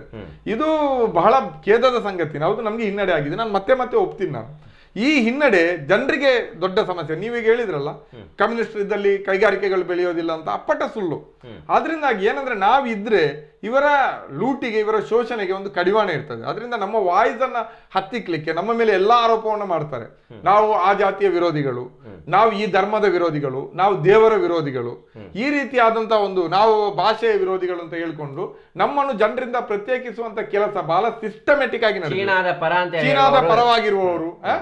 ಚೀನಾದ ಚೀನಾದ ಪರವಾಗಿರುವ ನಮ್ಮ ಇರುವವರು ಅಂತ ನಮ್ಮ ಮೇಲೆ ಆರೋಪ ಮಾಡಿದವರೆಲ್ಲ ಚೀನಾದ ಟೂರ್ ಹೊಡ್ಕೊಂಡು ಬಂದವರೇ ಅದು ಬೇರೆ ಪ್ರಶ್ನೆ. ಆದ್ರೆ ನಮ್ಮ ಮೇಲೆ ಅಂತ ಆರೋಪ. ನಮ್ಗೆ ದೇಶ ಪ್ರೇಮ ಇಲ್ಲ. ನಾವು ಚೀನಾದ ಪರವಾಗಿರ್ತೀವಿ ಹಿಂದೆ ರಷ್ಯಾದ ಪರ ಇದ್ವಿ? ನಾವು ದೇಶದ ಬಗ್ಗೆ ನಿಷ್ಠೆ ಕಡಿಮೆ ಇದು ವಿದೇಶಿ ಸಿದ್ಧಾಂತ. ಈ ರೀತಿ ಹೇಳ್ತಾ ಇದ್ದಾರೆ. ಆದ್ರೆ ನೀವೇ ಆವಾಗ ಹೇಳಿದ್ರಿ ಶ್ರೀರಾಮ್ ರೆಡ್ಡಿ ಅಂತವ್ರು ಇದ್ದಾಗ ವಿಧಾನಸಭೆಯಲ್ಲಿ ಒಬ್ಬ ಎದ್ದು ನಿಂತ್ರೆ ಇಡೀ ಸರ್ಕಾರದ ಆಳುವ ವರ್ಗದ ವಾದಕ್ಕೆ ಪ್ರತಿವಾದಲ್ಲಿ ಎದ್ದು ಕಾಣ್ತಾ ಇತ್ತು. ಒಬ್ಬ ಇದ್ದಾಗ. ಅದರಿಂದಾಗಿ ನಾವು ದುಡಿಯುವ ಜನರ ಪರವಾಗಿದ್ದೀವಿ. ದುಡಿಯುವ ಜನರ ಕೈಯಲ್ಲಿ ಟಿವಿ ಇಲ್ಲ. ದುಡಿಯುವ ಜನರ ಕೈಯಲ್ಲಿ ಪೇಪರ್ ಇಲ್ಲ. ದುಡಿಯುವ ಜನರ ಕೈಯಲ್ಲಿ ಧಾರ್ಮಿಕ ಕೇಂದ್ರಗಳಿಲ್ಲ ದುಡಿಯುವ ಜನರ ಕೈಯಲ್ಲಿ ಮಠಗಳಿಲ್ಲ ಮಂದಿರಗಳಿಲ್ಲ. ಅದರಿಂದಾಗಿ ದುಡಿಯುವ ಜನರು ಬಹುಸಂಖ್ಯಾತರಾದರೂ ಕೂಡ ಅವರ ವಾಯುದಲ್ಲೂ ಕೂಡ ಕೇಳ್ತಾ ಇಲ್ಲ. ದುಡಿಯುವ ವರ್ಗದ ಪರವಾಗಿರುವಂತಹ ಕಮ್ಯುನಿಸ್ಟರ ವಿರುದ್ಧ ಈ ಎಲ್ಲವನ್ನ ಇಟ್ಕೊಂಡಿರುವಂತಹ ಜನಗಳು ವ್ಯವಸ್ಥಿತವಾದಂತಹ ತಪ್ಪು ಕಲ್ಪನೆಗಳನ್ನ ಮೂಡಿಸಿ ಈ ಬಹುಸಂಖ್ಯಾತ ದುಡಿಯುವ ಜನರನ್ನೇ ಕಮ್ಯುನಿಸ್ಟರ ವಿರುದ್ಧ ಎತ್ತಿಕಟ್ಟಿದ್ದಾರೆ. ಅದರ ಪರಿಣಾಮವಾಗಿ ಇವತ್ತು ವಿಧಾನಸಭೆಯ ಒಳಗಡೆ ಇಲ್ಲ. ಇನ್ನು ಶ್ರೀರಾಮ್ ರೆಡ್ಡಿ ಅಂತವರು ಸಿಪಿಎಂನಿಂದ ಸ್ಪರ್ಧೆ ಮಾಡಿದಾಗಲೂ ಕೂಡ ನೂರಾರು ಕೋಟಿಯಲ್ಲಿ ಖರ್ಚು ಮಾಡಿದ್ರು ಅವರನ್ನು ಸೋಲಿಸಲಿಕ್ಕೆ. ಇದೆಲ್ಲವೂ ಕೂಡ ಇದೆ. ಅದರಿಂದಾಗಿ ಈ ಹಣ ಮತ್ತು ಇದರ ವಿರುದ್ಧ ಫೈಟ್ ಮಾಡಬೇಕು ಅಂದಾಗ ಜನರಲ್ಲಿ ಆ ಪ್ರಜ್ಞೆ ಇಲ್ದಿದ್ರೆ. ಜನ ಕಷ್ಟದಲ್ಲಿದ್ದಾರೆ ಪಾಪ. ಯಾರೋ ಒಬ್ಬ ಕುಕ್ಕರ್ ಕೊಟ್ಟ ಯಾರೋ ಒಬ್ಬ ಹಸು ಕೊಟ್ಟ ಯಾರೋ ಒಬ್ಬ ಟಿವಿ ಕೊಟ್ಟ ಅಂದಾಗ ಸಹಜವಾಗಿ ಆ ಕಡೆಗೆ ವಾಲ್ತಾರೆ. ಅದರಿಂದಾಗಿ ಈ ಪ್ರಜ್ಞಾವಂತ ಕೊರತೆ ನಮ್ಮನ್ನ ಇವತ್ತು ಈ ಹಂತಕ್ಕೆ ತಂದಿದೆ. ನಮ್ಮ ಸೋಲು ಜನರ ಸೋಲಾಗಿ ಪರಿವರ್ತನೆ ಆಗ್ತಾ ಇದೆ. ಅದು ಬಹಳ ಖೇದಕರ. ಜನ ಅರ್ಥ ಮಾಡ್ಬೇಕಾಗಿರೋದು ಅದು. ಕಮ್ಯುನಿಸ್ಟ್ ಸೋತ್ರೆ ಮುನಿರು ಸೋತ್ರೆ ಅಥವಾ ಇನ್ನೊಬ್ಬ ಸೋತ್ರೆ ದೊಡ್ಡ ವಿಚಾರ ಅಲ್ಲ. ನೂರಾರು ಜನ ಸೋತಿದ್ದಾರೆ ನೂರಾರು ಪಕ್ಷಗಳು ನಾಶ ಆಗಿದೆ ನೂರಾರು ಎದ್ದಿದೆ. ಆದ್ರೆ ನಮ್ಮ ಸೋಲಿನಲ್ಲಿ ಜನರ ಸೋಲು ಅಡಗಿದೆ. ನಾವು ಸೋತಲ್ಲಿ ಅದೇ ಪ್ಲೇಸಲ್ಲಿ ನಿಂತು ಜನರ ಪರವಾಗಿ ಶ್ರಮಜೀವಿಗಳ ಪರವಾಗಿ ಕಾರ್ಮಿಕ ವರ್ಗದ ಪರವಾಗಿ ಮಾತಾಡುವವರು ಹುಟ್ಟಿಕೊಂಡಿಲ್ಲ. ಅದರಿಂದಾಗಿ ಅಲ್ಲಿ ಅಲ್ಟರ್ನೇಟಿವ್ ಅಲ್ಲಿ ಈಗೆಲ್ಲವೂ ಏಕಮುಖ ಆಗಿದೆ.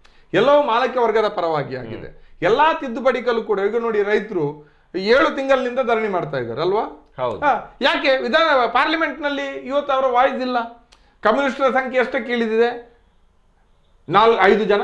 ಹೌದು. ಕಮ್ಯುನಿಸ್ಟ್ರು ಐದು ಐದು ಜನ ಕಮ್ಯುನಿಸ್ಟ್ ಸದಸ್ಯರಿದ್ದಾರೆ ಅಲ್ವಾ? ಸೋಷಿಯಲಿಸ್ಟ್ ಎಷ್ಟಿದ್ದಾರೆ ಹುಡುಕಿದ್ರು ಸಿಗಲ್ಲ ಪಾರ್ಲಿಮೆಂಟಲ್ಲಿ. ಒಂದು ಕಾಡಕ್ಕೆ ವಿರೋಧ ಪಕ್ಷದ ನಾಯಕ ಇ ಎಂ ಎಸ್ ನಂಬುದ್ರಿ ಇವರು. ಎ ಕೆ ಗೋಪಾಲನ್ ಇದ್ರು? ಕಮ್ಯುನಿಸ್ಟರು? ಇಂದಿರಾ ಗಾಂಧಿ ಇದ್ದಾಗ? ತುರ್ತು ಪರಿಸ್ಥಿತಿ ಏರಿದ ಸಂದರ್ಭದಲ್ಲಿ ಪಾರ್ಲಿಮೆಂಟಲ್ಲಿ ವಿರೋಧ ಪಕ್ಷದ ನಾಯಕ ಕಮ್ಯುನಿಸ್ಟ್ ಅವರು. ಎ ಕೆ ಗೋಪಾಲನ್ ಇದ್ರು? ಆವಾಗ ಒಂದು ವಾಯ್ದಿತ್ತು. ಈಗ ಬೆರಳೆಣಿಕೆಯಲ್ಲಿ ಎಣಿಸ್ಲಿಕ್ಕೂ ಸಿಗದಷ್ಟು ಕಡಿಮೆ ಆಗಿದ್ದೀವಿ. ಇದು ಭಾರತದಲ್ಲಿ ಒಂದು ಬ್ಯಾಲೆನ್ಸ್ ಅನ್ನೇ ತಪ್ಪಿಸಿದೆ. ಅದಕ್ಕಾಗಿ ಭಾರತದಲ್ಲಿ ಈಗ ಹಸಿವಿನ ಸಾವುಗಳನ್ನು ಸಂಭವಿಸ್ತಾ ಇದೆ. ಭಾರತದಲ್ಲಿ ಇವತ್ತು ಈ ರೀತಿಯ ದಾರಿದ್ರ್ಯ ಕಂಡು ಬರ್ತಾ ಇದೆ. ಭಾರತದಲ್ಲಿ ಈಗ ಸಾಮೂಹಿಕ ಆತ್ಮಹತ್ಯೆಗಳು ಕಂಡು ಬರ್ತಾ ಇದೆ. ಮತ್ತು ಭಾರತದಲ್ಲಿ ಅದೇ ಸಂದರ್ಭದಲ್ಲಿ ಅತ್ಯಂತ ಜಗತ್ತಿನ ಅತ್ಯಂತ ದೊಡ್ಡ ದೊಡ್ಡ ಶ್ರೀಮಂತರು ಸೃಷ್ಟಿ ಆಗ್ತಾ ಇದ್ದಾರೆ. ಅದರ ಜೊತೆಗೆ ಜನರ ವಾಯ್ಸ್ ಕಡಿಮೆ ಆಗ್ತದೆ ಕಡಿಮೆ ಆಗ್ತಾ ಇದೆ. ವಾಯ್ಸ್ ಕಡಿಮೆ ಆಗ್ತಾ ಇದೆ. ಸರ್ ಈಗ ನಾವು ನಮ್ಮಲ್ಲಿಯ ವಿಷಯಕ್ಕೆ ಬರುವ M R P L M R P ಒಂದು ಒಂದು ನಾವು ಒಂದು ಸುಮ್ಮನೆ ಒಂದು ನಾವು ಅದೊಂದು ಉದಾಹರಣೆಗೆ ಉದಾಹರಣೆ ನಮಗೆ ನಮಗೆ ಯಾಕೆ ಅನ್ಯಾಯ ಆಗಬೇಕು ಸರ್? ಜೊತೆಗೆ ನಾವು ಅಷ್ಟು ದಡ್ರ ಅಥವಾ ನಾವು ಅಷ್ಟು ಅಬಲಿಷ್ಟರ? ನಾವು ದಡ್ರು ಮತ್ತು ದುರ್ಬಲರು ಅಂತ ಹೇಳಿದ್ರೆ ಅದನ್ನು ಯಾವ ರೀತಿ ಜನ ತಗೊಳ್ತಾರಂತ ಗೊತ್ತಿಲ್ಲ ನನಗೆ. ಅಂತೂ ಇಲ್ಲಿ ಸೋತಿರೋದು ಜನ. ಜನರಿಂದಾಗಿಯೇ ಈ ರೀತಿಯ ನಾವು ಜನ ಸೋತಿದ್ದಾರೆ ಅನ್ಬೇಕು ನಾವು ಸೋತಿದ್ದೇವೆ ಅನ್ಬೇಕು. ನಾವು ಸೋತಿದೀವಿ. ಜನರು ಸೋತಿದ್ದಾರೆ. ಆದ್ರೆ ಜನ ಅಂದ್ರೆ ನಾವೇ. ಹೌದು ನಮ್ಮ. ಜಿಲ್ಲೆ ಜನ. ನಮ್ಮ ಜಿಲ್ಲೆಯ ಜನ. ನಮ್ಮ ಜಿಲ್ಲೆ ಸೋತಿದೆ ಅಂತ ನಾವು ಹೌದು ಖಂಡಿತ ಸೋತಿದೆ. ಸೋತಿದೆ. ಯಾಕೆ ಸೋತಿದೆ ಅಂದ್ರೆ ನಾವು ಅತ್ಯಂತ ಹೆಚ್ಚು ಶಿಕ್ಷಣ ಪಡೆದವರು ಅಲ್ವಾ? ಅತ್ಯಂತ ಸಾಹಸಿಗಳು ನಾವು. ಬುದ್ಧಿವಂತ ಜಿಲ್ಲೆ ಬುದ್ಧಿವಂತಿಕೆಯಲ್ಲಿ ಕೂಡ ನಾವು ನಾವು ಬಹಳ ಬುದ್ಧಿವಂತರು. ಅದರಲ್ಲಿ ಎರಡು ಮಾತಿಲ್ಲ. ಜ ಆ ಕಾಲಕ್ಕೆ ಸ್ವಾತಂತ್ರ್ಯ ಪೂರ್ವದಲ್ಲೇ ದೇಶದ ಬೇರೆ ಬೇರೆ ಭಾಗಗಳಿಗೆ ಹೋಗಿ ಬದುಕು ಕಟ್ಟಿಕೊಂಡವರು ನಾವು. ಅಲ್ವಾ? ಸ್ವಾತಂತ್ರ್ಯೋತ್ತರ ಭಾರತದಲ್ಲಿ ಕೂಡ ವಿದೇಶಗಳಿಗೆ ಹೋಗಿ ನಾವು ನಮ್ಮ ಬದುಕನ್ನು ಕಟ್ಕೊಳ್ಳುವಂತ ಸಾಹಸತನವನ್ನೆಲ್ಲ ಮೆರೆದಿದ್ದೀವಿ. ಅಷ್ಟೆಲ್ಲ ಇದ್ರು. ಎಲ್ಲಿಯವರೆಗೆ ಅಂದ್ರೆ ನಾವು ನಾವು ಎಷ್ಟು ರಾಜಕೀಯವಾಗಿ ಪ್ರಜ್ಞಾವಂತರಾಗಿದ್ವಿ ಎಷ್ಟು ಹೋರಾಟಗಾರರಾಗಿದ್ವಿ ಅಂದ್ರೆ ಇಡೀ ಬಾ- ಭಾರತದಲ್ಲಿ ನಾವು ಕರ್ನಾಟಕವನ್ನೇ ಉದಾಹರಣೆಯಾಗಿ ತಗೊಂಡ್ರೆ ಇಲ್ಲಿ ಭೂ ಮಸೂದೆ ಕಾಯ್ದೆ ಜಾರಿ ಆಯ್ತು ಅಲ್ವಾ? ಅರಸು ಕಾಲದಲ್ಲಿ ಕಾಯ್ದೆ ಬಂತು. ಕಾಯ್ದೆ ಬಂದಾಗ ಬಾ ಬಾ ಇಡೀ ಕರ್ನಾಟಕದಲ್ಲಿ ಅತ್ಯಂತ ಹೆಚ್ಚು ಪರಿಣಾಮಕಾರಿಯಾಗಿ ಭೂ ಮಸೂದೆ ಕಾಯ್ದೆ ರದ್ದಾಗಿ ಒಕ್ಕಲು ಕಾಯ್ದೆ ಪ್ರಕಾರ ಗೇಣಿಯವನಿಗೆ ಭೂಮಿ ಸಿಕ್ಕಿದ್ದು ನಮ್ಮ ಅವಿಭಜಿತ ದಕ್ಷಿಣ ಕನ್ನಡ ಜಿಲ್ಲೆ ಮತ್ತು ಉತ್ತರ ಕನ್ನಡದಲ್ಲಿ. ಹೌದು. ಬೇರೆ ಕಡೆ ಇನ್ನೂ ಕೂಡ ಸಾವಿರಾರು ಎಕರೆ ಮಾಲೀಕರಿದ್ದಾರೆ ಒಡೆಯರಿದ್ದಾರೆ. ಯಾಕೆ ಸಿಕ್ತು ಅಂದ್ರೆ ಆವಾಗ ರೈತರ ರೈತರ ಸ್ಟ್ರಗಲ್ ಇತ್ತು. ಕೃಷಿ ಕೂಲಿಕಾರರ ಸ್ಟ್ರಗಲ್ ಇತ್ತು. ಅದಕ್ಕೆ ಕೆಂಬಾವುಟದ ನೇತೃತ್ವ ಇತ್ತು. ಕಕ್ಕಿಲ್ಲ ಇದ್ರು ಎಂ ಎಚ್ ಕೃಷ್ಣಪ್ಪ ಇದ್ರು ಕೃಷ್ಣ ಶೆಟ್ಟರ್ ಇದ್ರು ಅವ್ರು ಶಾಸನ ಸಭೆಗೆಲ್ಲ ಹೋಗಿದ್ರು ಗೆದ್ದು. ಅದರಿಂದಾಗಿ ಅವತ್ತು ಸಿಕ್ಕಿತ್ತು. ಆಮೇಲೆ ಏನಾಯ್ತು ಈಗ? ಆಮೇಲೆ ಪ್ರಶ್ನೆ ಬಂದ್ರೆ ಈಗ ನಮ್ಮ ಎದುರುಗಡೆ ನಮ್ಮ ಭೂಮಿ ಕಬಲಿಸ್ತಾ ಇದ್ದಾರೆ. ನಮ್ಮ ಎದುರುಗಡೆ ನಮ್ಮ ನೇತ್ರಾವತಿ ಪಾಲ್ಗುಣಿ ಇನ್ನೊಂದು ನದಿಯ ನೀರನ್ನು ಕಬಲಿಸ್ತಾ ಇದ್ದಾರೆ. ಇಷ್ಟೆಲ್ಲ ಇದ್ದು ಕೂಡ ಕೊನೆಗೆ ನಮಗೆ ಉದ್ಯೋಗವನ್ನು ಕೊಡಲ್ಲ ಅಂತ ಇದ್ದಾರೆ. ನಾವು ಯಾರು ಸೋತಿದ್ದಾರೆ ಅಂತ ಹೇಳ್ಬೇಕು? ನಾವು ನಳಿನ್ ಕುಮಾರ್ ಕಟೀಲನ್ನ ಅಥವಾ ಎಂ ಎಲ್ ಎಗಳನ್ನ ಅಥವಾ ಉಸ್ತುವಾರಿ ಸಚಿವರನ್ನ ಅಥವಾ ಅಧಿಕಾರಿಗಳನ್ನ ಬೈಬಹುದು ಎಂ ಆರ್ ಪಿ ಎಲ್ ಅಧಿಕಾರಿಗಳನ್ನು ಕೂಡ ಬೈಬಹುದು ಆದ್ರೆ ನಿಜವಾಗಿಯೂ ಸೋಲು ನಮ್ದು. ನಾವು ನಮ್ಮ ಪರವಾಗಿ ಮಾತಾಡಬಲ್ಲ ನಾವು ನಾವು ಕೇವಲ ಬೈಕೊಳ್ಬಹುದು. ಬೈಕೊಳ್ಬಹುದು ಅಷ್ಟೇ ನಾವು ನಮ್ಮನ್ನೇ ನಾವು ಬೈಕೊಳ್ಬೇಕು. ಅವ್ರನ್ನ ಬೈಕ್ ಬೈದು ಪ್ರಯೋಜನ ಇಲ್ಲ. ಯಾಕೆಂದ್ರೆ ನಮ್ಮ ಪರವಾಗಿ ದೃಢವಾಗಿ ನಿಂತು ಅದನ್ನೆಲ್ಲ ನಮಗೆ ಪಡ್ ಪಡೆ ತೆಗೆದುಕೊಡ್ಬೇಕಾಗಿದ್ದಂತಹ ಒಂದು ರಾಜಕೀಯ ನಾಯಕತ್ವವನ್ನು ಸೃಷ್ಟಿ ಮಾಡೋದ್ರಲ್ಲಿ ನಾವು ವಿಫಲ ಆಗಿದ್ವಿ ನಾವು ಅದರಿಂದ ನಾಯಕರನ್ನ ಜನಪ್ರತಿನಿಧಿಗಳನ್ನ ದೂರೋದಕ್ಕೆ ಬದಲು ನಾವು ನಮ್ಮನ್ನ ನಾವು ದೂರಿಕೊಳ್ಬೇಕು. ನಾವು ಯಾಕೆ ನಮ್ಮ ಪರವಾಗಿ ಮಾತಾಡಬಲ್ಲಂತ ಜನಪ್ರತಿನಿಧಿಗಳನ್ನ ಸೃಷ್ಟಿ ಮಾಡಲಿಲ್ಲ? ಅಥವಾ ಗೆದ್ದು ಹೋಗಿರುವಂತಹ ಜನಪ್ರತಿ ಈಗಿರುವಂತ ಜನಪ್ರತಿನಿಧಿಗಳು ಕೂಡ ಇಂತಹ ಪ್ರಶ್ನೆಯಲ್ಲಿ ನಮ್ಮ ಪರವಾಗಿ ನಿಲ್ಲಬಲ್ಲ ಅಂತ ಒಂದು ವಾತಾವರಣವನ್ನು ಯಾಕೆ ನಾವು ಸೃಷ್ಟಿ ಮಾಡಿಲ್ಲ? ಕೊರತೆ ನಮ್ಮಲ್ಲೇ ಇದೆ ಜನರಲ್ಲಿ ಇದೆ. ಆ ಆ ಕೊರತೆಯಿಂದಾಗಿ ಇದನ್ನು ನಾವು ಅನುಭವಿಸ್ತಾ ಇಲ್ಲ. ಅಂದ್ರೆ ಹೇಳ್ತಾ ಇದ್ದೀರಿ ಅಂತಂದ್ರೆ ಈಗ ಈಗ ಗೆದ್ದು ಹೋಗಿರುವಂತ ಇಂತಹ ಸಂದರ್ಭದಲ್ಲಿ ಅವರಿಗೆ ಈ ಗೆದ್ದು ಹೋಗಿರುವಂತಹ ಸಂಸದರಿಗೋ ಶಾಸಕರಿಗೋ ಜನಪ್ರತಿನಿಧಿಗಳಿಗೆ ನಾವು ಬಿಸಿ ಮಿಟ್ಟಿಸುವ ಕೆಲಸವನ್ನು ನಾವು ಒಟ್ಟಾಗಿ ಮಾಡಿಲ್ಲ ತಾವ್ ಒಂದು ನಾವು ಸೃಷ್ಟಿಸಿಲ್ಲ ಅಂತ ನಾಯಕತ್ವವನ್ನ ಅಥವಾ ಈಗಿರುವವರಿಗೂ ಕೂಡ ಈ ಭಯ ಬಿದ್ದು ಇಷ್ಟು ಮಾತಾಡೋ ರೀತಿಯಲ್ಲಿ ಮಾಡುವಂತ ಛಾತಿ ನಮ್ಮಲ್ಲಿಲ್ಲ. ನೀವು ಖಾಸಗಿಯಾಗಿ ಕೇಳಿ. ನಿಮ್ಗೆ ತುಂಬಾ ಜನ ಜನಪ್ರತಿನಿಧಿಗಳು ಗೆಳೆಯರಿರ್ಬೋದು ಮಾಧ್ಯಮದವರಾಗಿರೋದ್ರೆ ನಿಮ್ಗೆ ಸಂಪರ್ಕ ಇರ್ತದೆ. ಖಾಸಗಿಯಾಗಿ ಮಾತಾಡಿದ್ರೆ ಅವ್ರು ಕೇಳ್ತಾರೆ ಹಿಂದೂಪುರ ಚುನಾವಣೆ ಸಬ್ಜೆಕ್ಟ್ ಆಗ್ತದೆ. ಅಂದ್ರೆ ಇದೆಲ್ಲವೂ ಕೂಡ ಇಲೆಕ್ಷನ್ ಸಬ್ಜೆಕ್ಟ್ ಅಲ್ಲ. ಅದರಿಂದಾಗಿ ನಾವು ತಲೆ ಕೆಡಿಸ್ಕೊಳ್ಬೇಕಾಗಿಲ್ಲ ಅಂತ ಆರಾಮಾಗಿ ನಗಾಡ್ಕೊಂಡು ಹೋಗ್ತಾರೆ. ಮೈಕ್ ಮುಂದೆ ಏನೋ ಮಾತಾಡ್ತಾರೆ. ಆಫ್ ದಿ ರೆಕಾರ್ಡ್ ಮಾತಾಡುವಾಗ ಈ ಮಾತು ನನ್ನ ಮುಂದೆನೇ ಹೇಳಿದ್ದಾರೆ. ಇದೆಲ್ಲ ಚುನಾವಣೆ ಸಬ್ಜೆಕ್ಟ್ ಅಲ್ಲ ಮುನಿಯರು ಅಂತ. ನಾವು ತಲೆ ಕೆಡಿಸ್ಕೊಳ್ಬೇಕಾಗಿಲ್ಲ ಅಂತ. ಹಾಗಾದ್ರೆ ಸೋತಿರೋದು ಯಾರು? ಸೋತಿರೋದು ನಾವು ಜನ. ನಾವು ಓಟ್ ಹಾಕುವಾಗ ನಾನು ಅವಾಗಲೇ ಹೇಳಿದೆ. ಓಟ್ ಹಾಕುವಾಗ ನಾವು ಉದ್ಯೋಗದ ಪ್ರಶ್ನೆ ಬಗ್ಗೆ ನಾವು ಚರ್ಚೆ ಮಾಡಲಿಲ್ಲ. ನಮ್ಮ ಚುನಾವಣೆಗೆ ನಿಂತಿರುವಂತ ಪಕ್ಷ ಮತ್ತು ವ್ಯಕ್ತಿ ನೀವು ಎಷ್ಟು ಉದ್ಯೋಗ ಸೃಷ್ಟಿ ಮಾಡ್ತೀನಿ ಅಂತ ಕೇಳಲಿಲ್ಲ.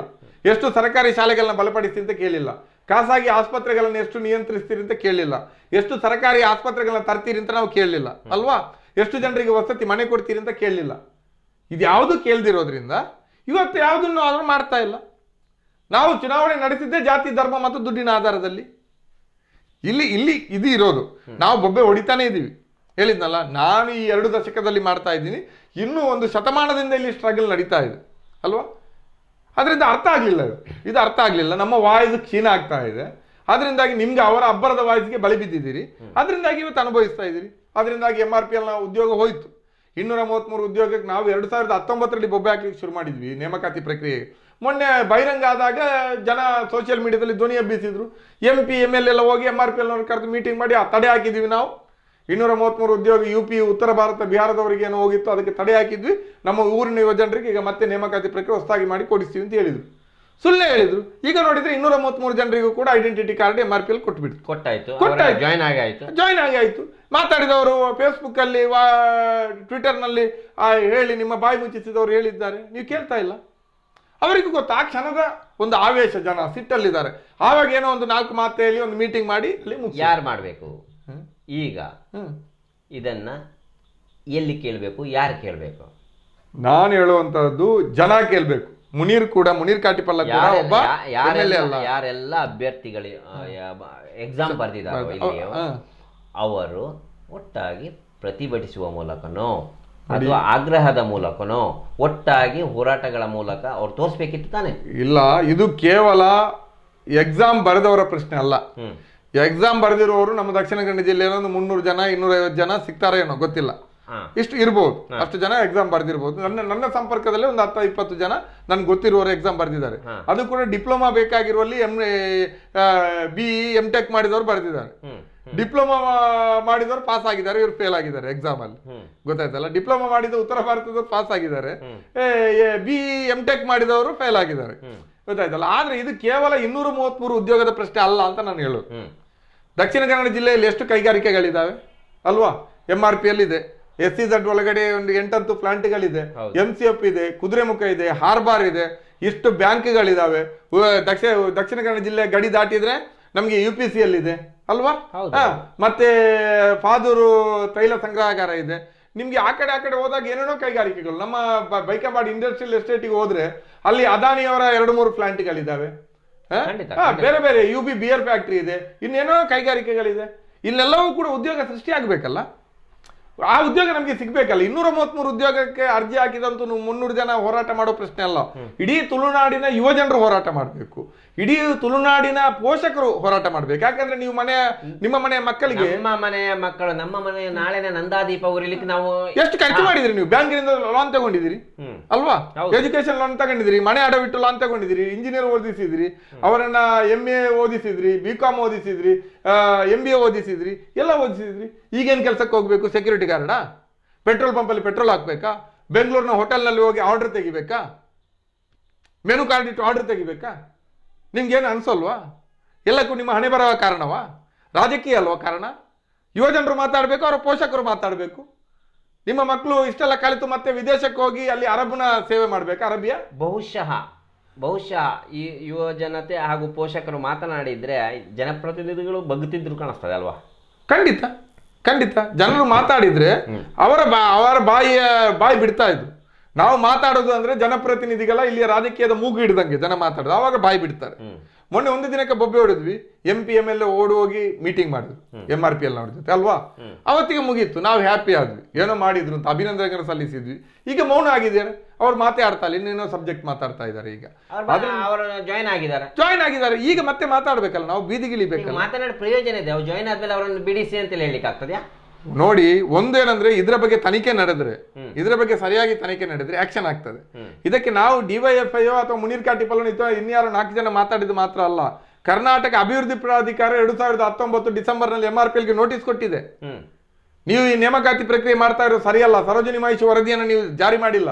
ತಕ್ಷಣ ಈ ಪ್ರಕ್ರಿಯೆಗೆ ತಡೆ ಹಾಕಿ ಮಹಿಷಿ ವರದಿಯ ಶಿಫಾರಸಿನ ಆಧಾರದಲ್ಲಿ ಸ್ಥಳೀಯರಿಗೆ ಆದ್ಯತೆ ಕೊಟ್ಟು ನೀವು ಪ್ರಕ್ರಿಯೆ ನಡೆಸಿ ಅಂತ ಹೇಳಿದೆ. ಅದರ ಆಧಾರದಲ್ಲೆಲ್ಲ ಮಾಡಿಲ್ಲಲ್ಲ ಹಂಗಾದ್ರೆ ಇವರು ತನಿಖೆ ಮಾಡ್ಬೇಕಲ್ಲ. ತಾವು ಹೇಳ್ತಾ ಇದ್ದೀರಿ, ಇಷ್ಟೆಲ್ಲ ಹೋರಾಟ ಮಾಡ್ತಾ ಇದ್ದೀರಿ. ಒಂದು ನಾಯಕರಾಗಿ ರೂಪಿತಗೊಂಡಿದ್ದೀರಿ. ಬುಲೆಟಲ್ಲಿ ಓಡಾಡ್ತೀರಿ. ಎಂಟು ಸಾವಿರದ ಹತ್ತು ಸಾವಿರದ ಶೂ ಹಾಕ್ಕೊಂಡು ಓಡಾಡ್ತೀರಿ. ಆದರೆ, ತಾವು ಇದೆಲ್ಲ ದುಡ್ಡುಗಳನ್ನು ಹೇಗೆ ಮಾಡ್ತಾ ಇದ್ದೀರಿ? ಐಷಾರಾಮಿ ಜೀವನವನ್ನು ಮಾಡ್ತಾ ಇದ್ದೀರಿ. ಇದೆಲ್ಲ ದುಡ್ಡುಗಳನ್ನು ಹೇಗೆ ಮಾಡ್ತಾ ಇದ್ದೀರಿ? ಅನ್ನೋದ್ರ ಬಗ್ಗೆ ಕೆಲ ಜನರ ವಿಶ್ಲೇಷಣೆ ಇದೆ. ಕೆಲ ಜನರ ವಿಶ್ಲೇಷಣೆ. ನಮ್ಮ ಮುಂದೆಯೂ ಆ- ಅದನ್ನು ಹೇಳುವವರಿದ್ದಾರೆ ಆ ವಿಶ್ಲೇಷಣೆಗಳ ಬಗ್ಗೆ ತಾವು ಏನು ಹೇಳಲಿಕ್ಕೆ ಬಯಸ್ತೀರಿ? ಈಗ ಉದಾಹರಣೆಗೆ ಈ ಬೀದಿ ಬದಿ ವ್ಯಾಪಾರಸ್ಥರುಗಳಿಂದ ತಾವು ಮನ್ ದಿನ ವಸೂಲಿ ಕೆಲಸವನ್ನು ತಾವು ಮಾಡುತ್ತಾ ಇದ್ದೀರಿ ತಮ್ಮ ಜನಗಳ ಮೂಲಕ ಮಾಡಿಸ್ತಾ ಇದ್ದೀರಿ. ಆ ರೀತಿಯಲ್ಲಿ ದೊಡ್ಡ ವ್ಯಕ್ತಿಯಾಗಿ ದೊಡ್ಡ ಐಷಾರಾಮಿ ಜೀವನ ಮಾಡ್ತಾ ಇದ್ದೀರಿ ಎನ್ನುವ ಆರೋಪಗಳು ತಮ್ಮ ಮೇಲೆ ಗಂಭೀರವಾಗಿ ಅವ್ರು ಹೇಳುವಂಥದ್ದು ಗಂಭೀರವಾದಂಥ ಆರೋಪ ಅವ್ರು ಮಾಡ್ತಾ ಇರುವಂಥದ್ದು. ತಾವು ಈ ಬಗ್ಗೆ ಏನು ಹೇಳಲಿಕ್ಕೆ ಬಯಸ್ತೀರಿ? ಆರೋಪ ಮಾಡ್ತಾ ಇರುವವರಿಗೆ ಏನು ಹೇಳ್ತೀರಿ? ಒಂದೇನಂದ್ರೆ ಇಂಥ ಆರೋಪಗಳು ಸಹಜ. ಅದು ಕೂಡ ಯಾರು ಕೂಡ ನನ್ನ ಜೊತೆ ನೇರವಾಗಿ ಇಂಥ ಆರೋಪಗಳನ್ನು ಹಾಕುವಂತ ಒಂದು ಧೈರ್ಯವನ್ನು ಇಷ್ಟವರಿಗೆ ತೋರಿಸಲಿಲ್ಲ ಹಿಂಭಾಗದಲ್ಲಿ ಇಂಥ ಆರೋಪಗಳು ಇರ್ತವೆ, ರಾಜಕೀಯ ಸಾರ್ವಜನಿಕ ಜೀವನದಲ್ಲಿ ಇರ್ತದೆ. ಒಂದು ಹೇಳಲಿಕ್ಕೆ ಬಯಸೋದೇನೆಂದ್ರೆ ಅದು ಅವರಿಗೆ ಬೇರೆ ಏನೂ ಮಾಡಲಿಕ್ಕಾಗದ ಅಸಹಾಯಕತೆಯಿಂದ ಮಾಡುವಂಥ ಆರೋಪಗಳು. ಅದರ ಬಗ್ಗೆ ನಾನು ಜಾಸ್ತಿ ತಲೆ ಕೆಡಿಸ್ಕೊಂಡಿಲ್ಲ. ನಾನು ಏನು ಅನ್ನುವಂಥದ್ದು ಪ್ರಧಾನವಾಗಿ ನನಗೆ ಗೊತ್ತಿದೆ. ಮತ್ತು ನನ್ನ ಪಕ್ಷ, ನನ್ನ ಸಂಘಟನೆಗೆ ಗೊತ್ತಿದೆ. ಮತ್ತು ಬಹುತೇಕ ಜನರಿಗೂ ಕೂಡ ನಾನು ಹೆಂಗೆ ಬದುಕ್ತಾ ಇದ್ದೀನಿ ಅಂತ ಗೊತ್ತಿದೆ. ಮತ್ತು ಈ ಬೀದಿ ಬದಿ ಯೂನಿಯನ್ನಲ್ಲಿ ನಾನು ಯಾವತ್ತೂ ಸದಸ್ಯನೂ ಆಗಿಲ್ಲ. ನಮ್ಮ ಟ್ರೇಡ್ ಯೂನಿಯನಲ್ಲೇ ಅದು ಇದೆ. ಅದಕ್ಕೆ ಸಂಬಂಧಪಟ್ಟ ಬೇರೆ ಸದಸ್ಯರು ಅದನ್ನ ಲೀಡರ್ಗಳು ಅದನ್ನು ನಡೆಸ್ತಾರೆ. ಆದರೆ ನಮ್ಮ ಯಾವುದೇ ಯೂನಿಯನ್ನಲ್ಲಿ ಕೂಡ ದಿನನಿತ್ಯ ಸಂಗ್ರಹ ಅನ್ನುವಂಥ ಇದೇ ಇಲ್ಲ. ದಿನನಿತ್ಯ ಸಂಗ್ರಹ ಬೀಡಿ ಯೂನಿಯನ್ ಇಂದ ಹಿಡಿದು ದೊಡ್ಡ ದೊಡ್ಡ ಕೈಗಾರಿಕೆಯಿಂದ ಹಿಡಿದು ಬೀದಿ ಬದಿ ವ್ಯಾಪಾರಸ್ಥರವರೆಗೂ ಇಲ್ಲ. ವರ್ಷಕ್ಕೊಮ್ಮೆ ಮೆಂಬರ್ಶಿಪ್ ಕೊಟ್ರೆ ಮುಗೀತು. ವರ್ಷಕ್ಕೊಮ್ಮೆ ಮೆಂಬರ್ಶಿಪ್ ಕೊಟ್ರೆ ಮತ್ತೆ ವರ್ಷ ಪೂರ್ತಿ ನಾವು ಅವರಿಗೆ ಸೇವೆ ಮಾಡ್ತಾನೆ ಇರೋದು.